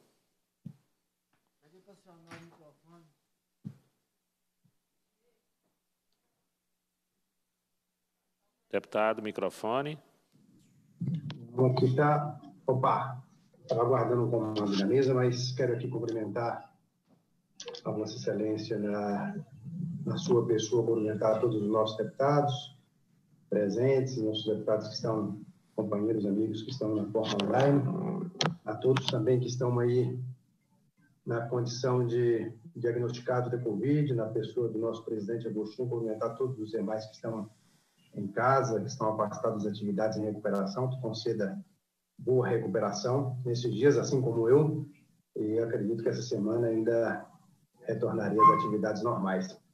Mas, enfim, quero aqui só mesmo cumprimentar o secretário Igor, é, diga-se de passagem, um dos melhores secretários desse governo, um cara que ouve, um cara que está 24 horas à disposição, e eu que venho aqui do Norte, né, não poderia trazer, externar o meu agradecimento e endossar as palavras do companheiro Gil Pereira, deputado que ali colocou, e da mesma forma, deputado Carlos Pimenta. Mas, em suma, eu só tenho que agradecer ao secretário Igor pela, por ser essa porta de entrada, juntamente com o nosso líder Raul Belém, uma grande aquisição para o ano 2020, em representação à casa. E dizer, secretário, que 2021 novos ventos chegam por aí e que estamos juntos, estamos à inteira disposição para poder trabalhar pelo nosso grande estado de Minas Gerais e, é claro, para o nosso sertão norte mineiro. Né? E para finalizar, né, lembrando como aqui colocou o nosso líder Raul, esse Boeing aí que está aquecendo seus motores, é claro que ano passado, um ano difícil, que assumimos, né, colocando as contas em, em dia, esse ano, o vírus maluco que tivemos que reaprender a forma de gestar, né, de administrar, e é claro que 2021, nós que o Brasil, né, que ele que é o termômetro principal, é, tem a boa notícia né, de ter fechar aí mais de 3 bilhões de reais de superávit fiscal primário, que com certeza vai refletir nas finanças, na economia do Estado de Minas Gerais. E dentro dessas aí, não deixar o Estado de Minas, o norte de Minas, o nosso sertão, as nossas obras estruturantes, como, a, como já tive a honra de ter o projeto concedido pelo Estado, né, que está em execução da nossa querida MGC 479, trazendo, mais, trazendo Brasília mais próximo, ou que seja a interligação é, de, do nosso município de Senhor das Missões, de 11 quilômetros, trazendo o estado da Bahia mais próximo, ou que seja uma ponte no Rio São Francisco, né, trazendo todo o noroeste mais próximo de Minas Gerais. Enfim, mas o que eu quero mesmo é só mesmo agradecer, já que estamos aí a, a, a aproximando o mês de dezembro, o último ano, o nosso ano, já em clima de despedida do ano de 2020, dizer que foi muito bom ter trabalhado junto, corpo a corpo, ladeado aí nas dificuldades e olhando para um novo horizonte para o nosso querido estado de Minas Gerais. Forte abraço, conte comigo e vamos juntos aí 2021. Secretário. Deputado Zé Reis, muito obrigado pelas suas ponderações. De fato, o senhor sempre muito solícito e receptivo ao diálogo, né, especialmente comigo lá na Secretaria de Governo. Apenas reafirmar as palavras do senhor de que nós seguimos firmes aí por mais um ano. 2020 foi um ano de muita turbulência, de muita dificuldade para o nosso Estado, mas com trabalho né, desenvolvido por todos os parlamentares aqui na Assembleia Legislativa, o senhor aí incluído, conseguimos é, avançar bastante no nosso Estado, avançar bastante nas questões das nossas regiões, o senhor como um grande representante é, do norte do nosso Estado, sempre atento às demandas da região, só deixar a Secretaria de Governo e todo o governo do Estado de Minas Gerais à disposição do senhor para podermos trabalhar e encontrar alternativas e soluções para o norte do nosso Estado. Muito obrigado, deputado. Deputado.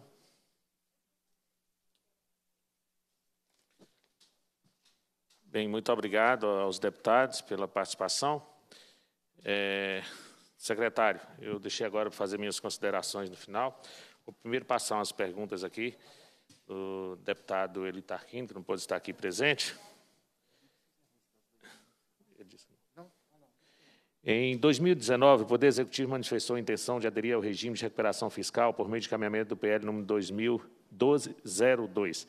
Diante do cenário que se desenhou em 2020, principalmente da decorrência da pandemia Covid-19 e de suas consequências, dada a maior necessidade de investir em serviços públicos, principalmente saúde pública e outros investimentos, o Executivo mantém essa intenção de aderir ao regime que vai sacrificar a prestação de tais serviços essenciais à população. Novamente questionamos em outra oportunidade, a resposta foi evasiva. O Executivo trabalha com alternativa à adesão ao regime de recuperação fiscal, planejamento exclusivamente esse.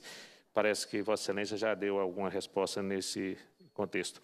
O Executivo tem negociado com o governo federal uma possível realização da operação NIOB por meio da instituição financeira da União. Qual o status atual dessa negociação e qual o valor estimado a ser recebido pelo Estado, caso ela se concretize. Existem outras possibilidades de operação do NIOB que não seriam a negociação com a União? Se sim, qual? Na reunião realizada em 18 de 10 de 2019, o então secretário sinalizou que, em razão dos esforços para a atração de novos investimentos em Minas Gerais, esperava-se um aporte de 50 bilhões na economia.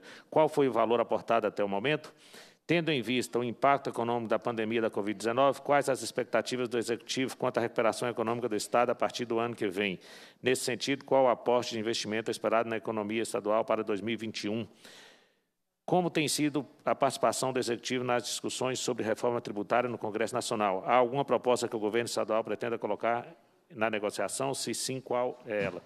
Agora, secretário, eu quero é, agora fazer é, uma indagação sobre o processo das emendas populares do PPAG. Eu sou presidente da Comissão de Participação Popular e, historicamente, é, essa casa é, criou um processo de participação popular fantástico. A gente chama as pessoas, vamos até as pessoas, ouvimos, e elas dão suas opiniões é, na participação no orçamento, suas ideias e a cada ano vem sendo menos cumprido as proposições da população. Se continuar do jeito que está, esse ano será histórico, será menor, é, o menor cumprimento é, dessas emendas populares, a, menor execução dessas emendas populares. É, não chega a 3% de emendas pagas até o momento. Há um compromisso da Secretaria de Planejamento firmado no final do ano passado, que pagaria 100%.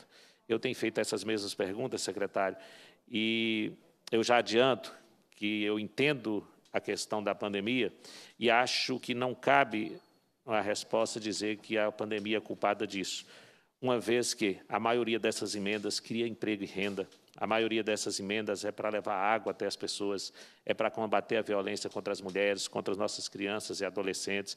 Então, de uma certa maneira, essas emendas vão é, no enfrentamento à pandemia. Eu entendo que emendas que causam aglomeração, festivais, é, a gente entende, e eu, como médico, não estou aqui é, fazendo essa cobrança. Então, eu queria, é, na verdade, lhe pedir é, mas não é uma pergunta, porque eu já fiz a todos os secretários, é lhe pedir para que possa fazer um esforço e pagar essas emendas populares, porque é triste, é triste.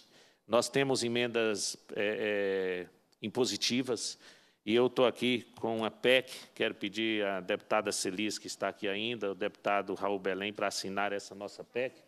A deputada Beatriz já assinou. Inclusive, eu lhe pergunto, se o senhor, como eu já fiz essa pergunta para os outros secretários e demonstraram que não são contra, eu lhe pergunto se o, o que o senhor acha da gente tornar as emendas populares, que até o momento é um montante de 20 milhões, somando a emenda de dois deputados, é, é, é igual ou maior do que é, as emendas populares. Então, o que, que o senhor acha da gente transformar essas emendas em positivas?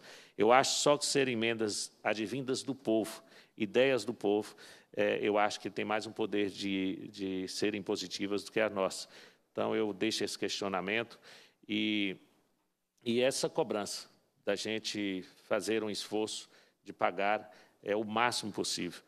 É, prezado secretário, você deve ter acompanhado toda a discussão que se deu em torno da exploração do lítio no Vale de Jequitinhonha. Nós somos a região que mais produzimos lítio nesse país. 90%, 85% a 90% do lítio desse país está no Vale de Jequitinhonha. E no final do ano passado, nós vimos aí aquela questão da fábrica de bateria para a região de Juiz de Fora.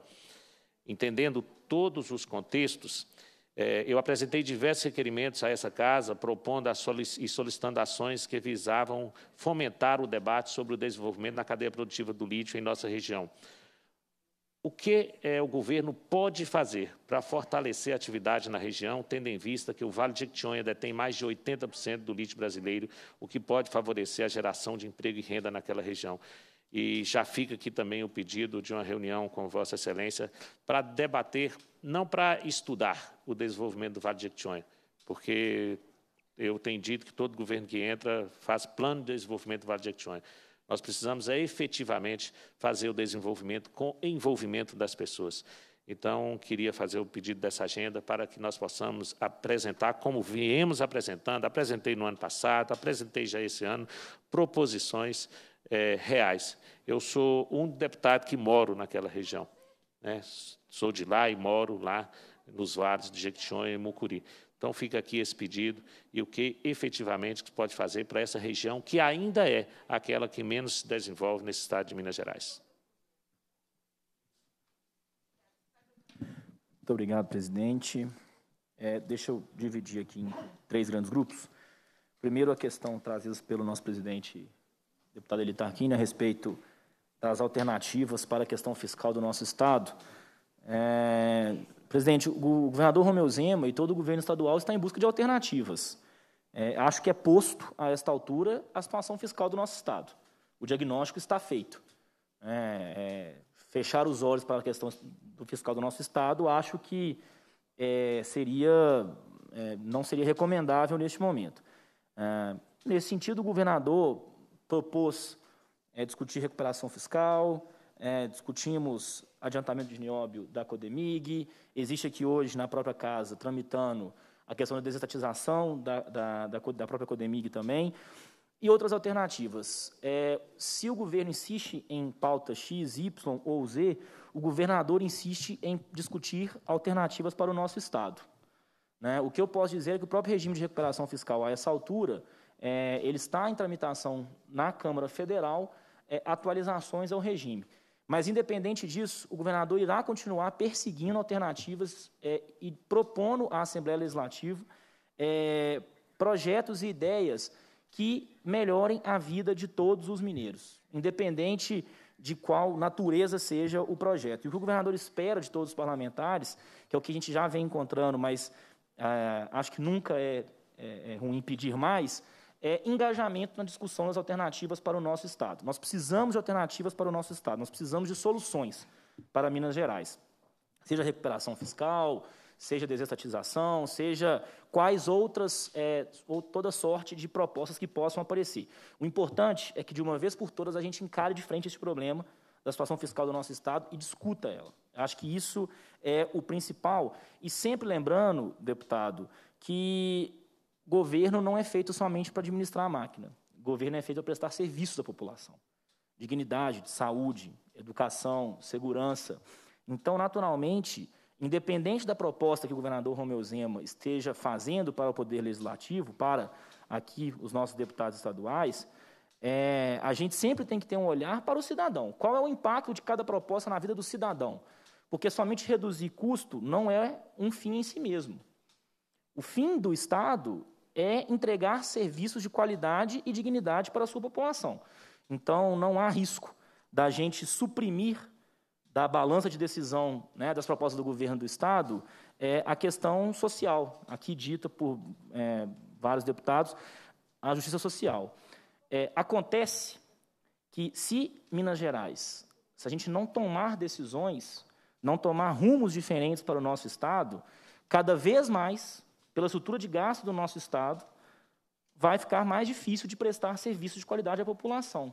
Nós estamos convivendo com o parcelamento de salário de servidores há anos, estamos convivendo com atraso de pagamento de 13º há anos, né? então nós precisamos encontrar alternativas para o nosso Estado. E aqui fica mais uma vez um convite para que a gente sempre tenha a condição, o espaço que a gente já vem tendo, é importante agradecer a todos os deputados que vêm dando essa condição de diálogo ao governo, é importante que a gente sempre discuta né, as alternativas para o nosso Estado. É, rapidamente sobre as emendas populares, deputado, acho que o senhor tem total razão é, em cobrar do governo do Estado. É, acho que é até importante aqui firmar o compromisso com o senhor de que essas emendas, naturalmente, as que estiverem com condições de ser pagas, até por questão é, burocrática, mas também de pandemia, de aglomeração, apoio a festivais, enfim, essas, essas infelizmente não têm condição de pagar pelo momento que vivemos, é, elas estão programadas para serem pagas agora, na esteira da, da, do, do, resto, né, do resto, do, do, que, do restante das emendas impositivas que estão faltando para esse ano. Estava no nosso planejamento executar essas emendas, por causa das eleições tivemos que segurar. Agora que terminou né, o impedimento legal das eleições de pagamento de emendas parlamentares, voltaremos a pagar as emendas parlamentares e as emendas de participação popular, como o senhor bem disse, são fundamentais para a nossa população e nós iremos sim, o que estiver em condição de pagamento, pagar é, ainda no exercício deste ano, naturalmente, é, tudo o que for possível. É, por fim, sobre o nosso Jequitinhonha, acho que é, nós temos aqui um ponto em comum, de que é preciso investimento no Vale do Jequitinhonha do nosso Estado, precisamos desenvolver aquela região, Acho que ela precisa se desenvolver do ponto de vista de formação, de qualidade de mão de obra, de acesso à terra, à segurança hídrica, à infraestrutura, né? e por isso o governador Romeu Zema vem nos cobrando insistentemente no governo do Estado que a gente apresente propostas e planos de desenvolvimento para o Jequitinhonha. A questão da, fábrica de, lixo, de lítio é uma questão pontual que aconteceu lá, e aí, acho que não, a essa altura, é, as, não, acho que não sei se nós temos é, condição de discutir por que, que a fábrica não ficou lá, apesar da extração ser lá, mas são condições de mercado. Mas, independente disso, o governador aqui afirma o compromisso dele, reafirma o compromisso dele de que este governo irá apresentar e irá colocar em prática, tirar do papel um plano de desenvolvimento do Vale do Jequitinhonha. E, de antemão, deputado, o senhor, como é, legítimo representante daquela região, morador da região, é, gostaríamos imensamente de contar com o apoio do senhor, com as ideias que o senhor tiver para propor em relação a esse plano de desenvolvimento e também ouvi-lo a respeito do que o governo está propondo. Se faz sentido, se tem pertinência, se não tem pertinência, viabilidade e, naturalmente, teremos toda a condição de sentarmos e discutirmos é, com o maior prazer, como sempre. A Secretaria de Governo está aberta e à disposição do senhor para sempre que é, for importante de interesse do senhor que a gente tenha essas, essas conversas que eu acho que, independente de posição ideológica, deputado, é, nós temos que discutir o, soluções para Minas Gerais. Se estamos alinhados nisso, e eu tenho certeza que nós estamos alinhados de que precisamos encontrar soluções para Minas Gerais, não resta dúvida de que teremos um bom diálogo e que sairemos ali com uma solução de consenso que vai atender principalmente os cidadãos de Minas Gerais que estão lá na ponta, né, necessitando e precisando, querendo, pedindo a atenção e a atitude, principalmente, de todos nós do Poder Público de Minas Gerais. Obrigado, secretário. Eu deixo os meus dois minutos para o fechamento dos trabalhos. É, eu passo a presidência à deputada Celise Laviola para a leitura de requerimentos é, de nossa autoria. Com a palavra o deputado Jean Freire para apresentação de requerimentos de sua autoria. Excelentíssimo presidente da Comissão de Fiscalização Financeira, a deputada e o deputado que subscreve requerem da Vossa Excelência, nos termos do artigo 103, para o terceiro alinhado do regimento interno, que seja encaminhado à Secretaria de Estado de Planejamento e Gestão, CEPLAG, Secretaria de Estado do Governo, SEGOV, pedido de providência para assegurar o repasse dos recursos orçamentários em atendimento ao disposto na Constituição da República referentes ao percentual mínimo previsto na área de saúde e educação no ano 2020. Excelentíssimo presidente da Comissão de Fiscalização Financeira e Orçamentária, deputado que subserve requer da Vossa Excelência no termo do artigo 103, parágrafo 3 alinhado do regimento interno, que seja encaminhado à Secretaria de Estado do Governo, SEGOV, pedido de providência para que priorize a execução das emendas de lei orçamentária anual 2020, que foram originadas da sugestão popular e de adequado encaminhamento junto à Secretaria de Estado de Planejamento e Gestão da CEPLAG. Excelentíssimo senhor presidente da Comissão de Fiscalização Financeira e Orçamentária, a deputada e o deputado que subscreve requer Vossa Excelência nos termos do artigo 103, parágrafo 3 da alinhado do regimento interno, que seja encaminhado à Secretaria de Estado de Planejamento e Gestão, CEPLAC, Secretaria de Estado do Governo, SEGOV, pedido de providência para assegurar o repasse de recursos orçamentários em atendimento ao disposto na Constituição do Estado de Minas Gerais, referente ao percentual mínimo previsto na FAPEMIG no ano 2020. Excelentíssimo Agora vou ler requerimento da deputada Ana Paula Esquerda e do deputado Sargento Rodrigues. Excelentíssimo senhor presidente da Comissão de Administração Pública, deputado que subserve requer Vossa Excelência no centro do artigo 103, a linha, é, terceira linha do regimento interno, que seja encaminhado ao secretário de Estado do Governo, SEGOV, pedido de providência para que sejam adotadas as medidas necessárias pelo governo para dar continuidade ao benefício Bolsa Merenda e ao programa Renda Mínima em 2021, visando minimizar a situação das famílias mineiras em extrema pobreza ou vez que, uma vez que ainda se encontram em situação de vulnerabilidade agravada pela pandemia da do novo coronavírus. Excelentíssimo senhor presidente da Comissão de Administração Pública, o deputado que subserve requer de Vossa Excelência nos termos do artigo 103, para a terceira linha do regimento interno, que seja caminhado ao governador de Estado pedido providência para que se efetue no prazo legal o pagamento da totalidade correspondente ao 13º salário e de, a todo o funcionalismo público de Minas Gerais, ou seja, que pague integralmente aos servidores públicos, civil, militar e devida à gratificação natalina. Conforme publicado em suas redes sociais, o governador do Estado anunciou o pagamento apenas da parte do 13º em 23 de dezembro do corrente ano, conquanto este é devido em sua integralidade no final de cada ano. Ressalta-se que o 13º salário calculado com base na remuneração integral ou no valor da aposentadoria é um dos direitos constitucionais consagrado no artigo 7 que se aplica aos servidores públicos. Assim, diante da importância do exposto, como com o apoio dos pares, conto com o apoio dos pares na aprovação desse requerimento. Autoria do deputado Sargento Rodrigues. A presidência, antes de colocar em votação, indaga aos senhores deputados se algum deputado ainda deseja apresentar algum requerimento nessa reunião.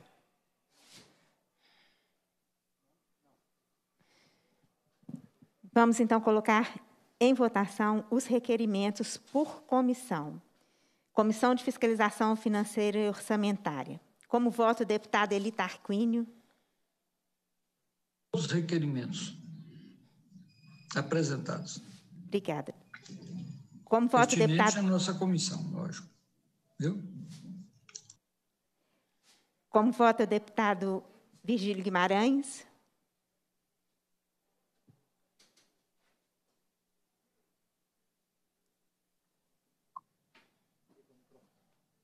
Virgílio Guimarães vota sim. Obrigada, deputado Virgílio. Como voto o deputado Zé Reis? Deputado Zé Reis vota sim, presidenta. Obrigada, deputado Zé Reis. Como voto o deputado Sargento Rodrigues? Voto sim, senhora presidente. Estão aprovados os requerimentos na Comissão de Fiscalização Financeira e Orçamentária. Fiscalização de Administração Pública. Como vota a deputada Beatriz Cerqueira? Voto sim, presidente, ao requerimento. Como vota o deputado Sargento Rodrigues? Voto sim, presidente. Como vota o deputado Raul Belém?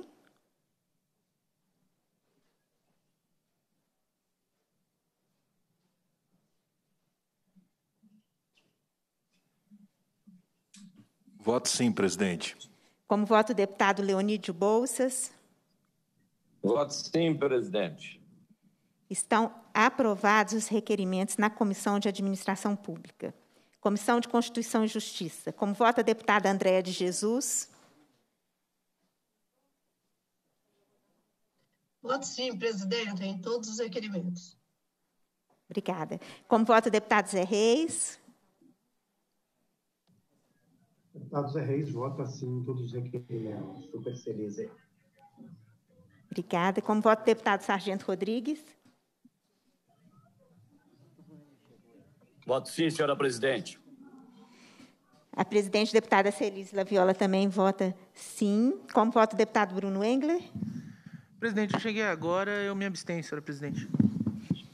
Estão aprovados os requerimentos na Comissão de Constituição e Justiça. Comissão de Redação. Como voto o deputado Ulisses Gomes?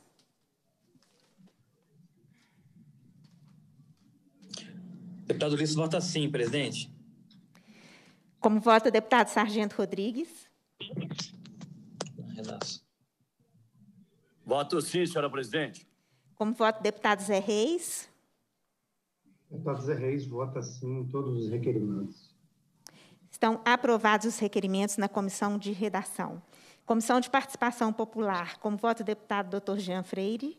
Voto sim em todos os requerimentos, deputada. Como voto o deputado Sargento Rodrigues? Voto sim, senhora presidente. Como voto o deputado Leonídio Bolsas?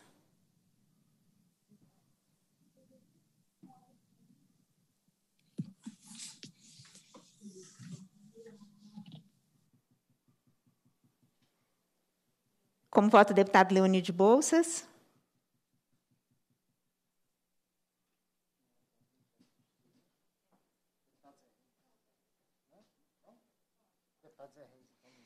É, substituindo o deputado Leonídio, como voto o deputado Zé Reis. Deputado Zé Reis vota sim em todos os requerimentos. Como vota a deputada André de Jesus. Voto sim, presidente, em todos os requerimentos. A presidência agradece aos deputados e está aprovado também na Comissão de Participação Popular. Estão aprovados todos os requerimentos. Eu devolvo a presidência dos trabalhos ao deputado doutor Jean Freire. Obrigado, deputada. Eu passo a palavra agora para suas considerações finais é, ao secretário Igor. senhor presidente dessa sessão, deputado Jean Freire, muito obrigado pela e parabenizo pela condução dos trabalhos nessa tarde de hoje.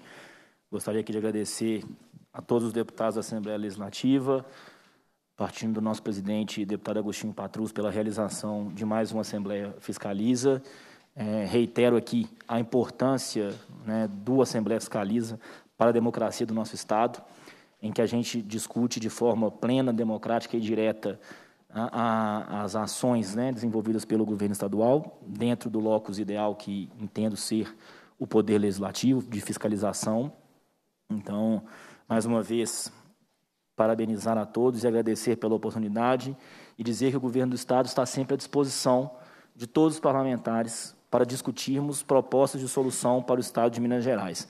Acima de discussões ideológicas, acima de discussões partidárias, este governo, liderado pelo governador Romeu Zema, tem a clara e única intenção de entregar para os mineiros serviços de qualidade e dignidade, educação, saúde, segurança e desenvolvimento para o nosso Estado. Nesse sentido, toda ideia, proposta, discussão é sempre bem-vinda para este governo, presidente. E coloco aqui todo o governo à disposição, não só eu como secretário de governo, mas todos os secretários deste governo, para tratarmos dos assuntos pertinentes a todos os cidadãos de Minas Gerais, reconhecendo a dificuldade do nosso Estado e reafirmando que somente com a união de forças, com a união e o empenho do trabalho de cada deputado aqui dessa Casa Legislativa, junto com o governo estadual, com o Poder Executivo, é que nós vamos conseguir tirar Minas Gerais da situação delicada em que ela se encontra.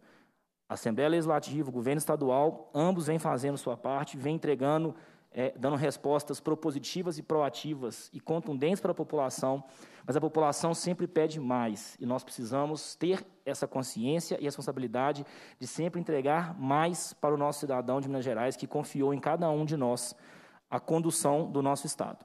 Muito obrigado a todos pela oportunidade de discutirmos de forma civilizada, de forma madura, competente as questões do nosso Estado e aguardo a nossa próxima oportunidade de sempre seguir dialogando e discutindo e construindo para o Estado de Minas Gerais. Muito obrigado a todos.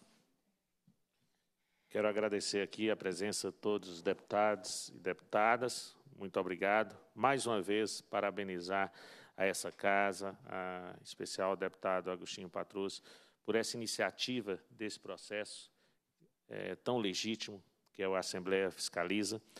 É, a cada dia mais, essa se torna realmente, cada vez mais, de maneira legítima, a, a casa do povo, é, onde as pessoas nos procuram é, para deixar aqui os seus anseios.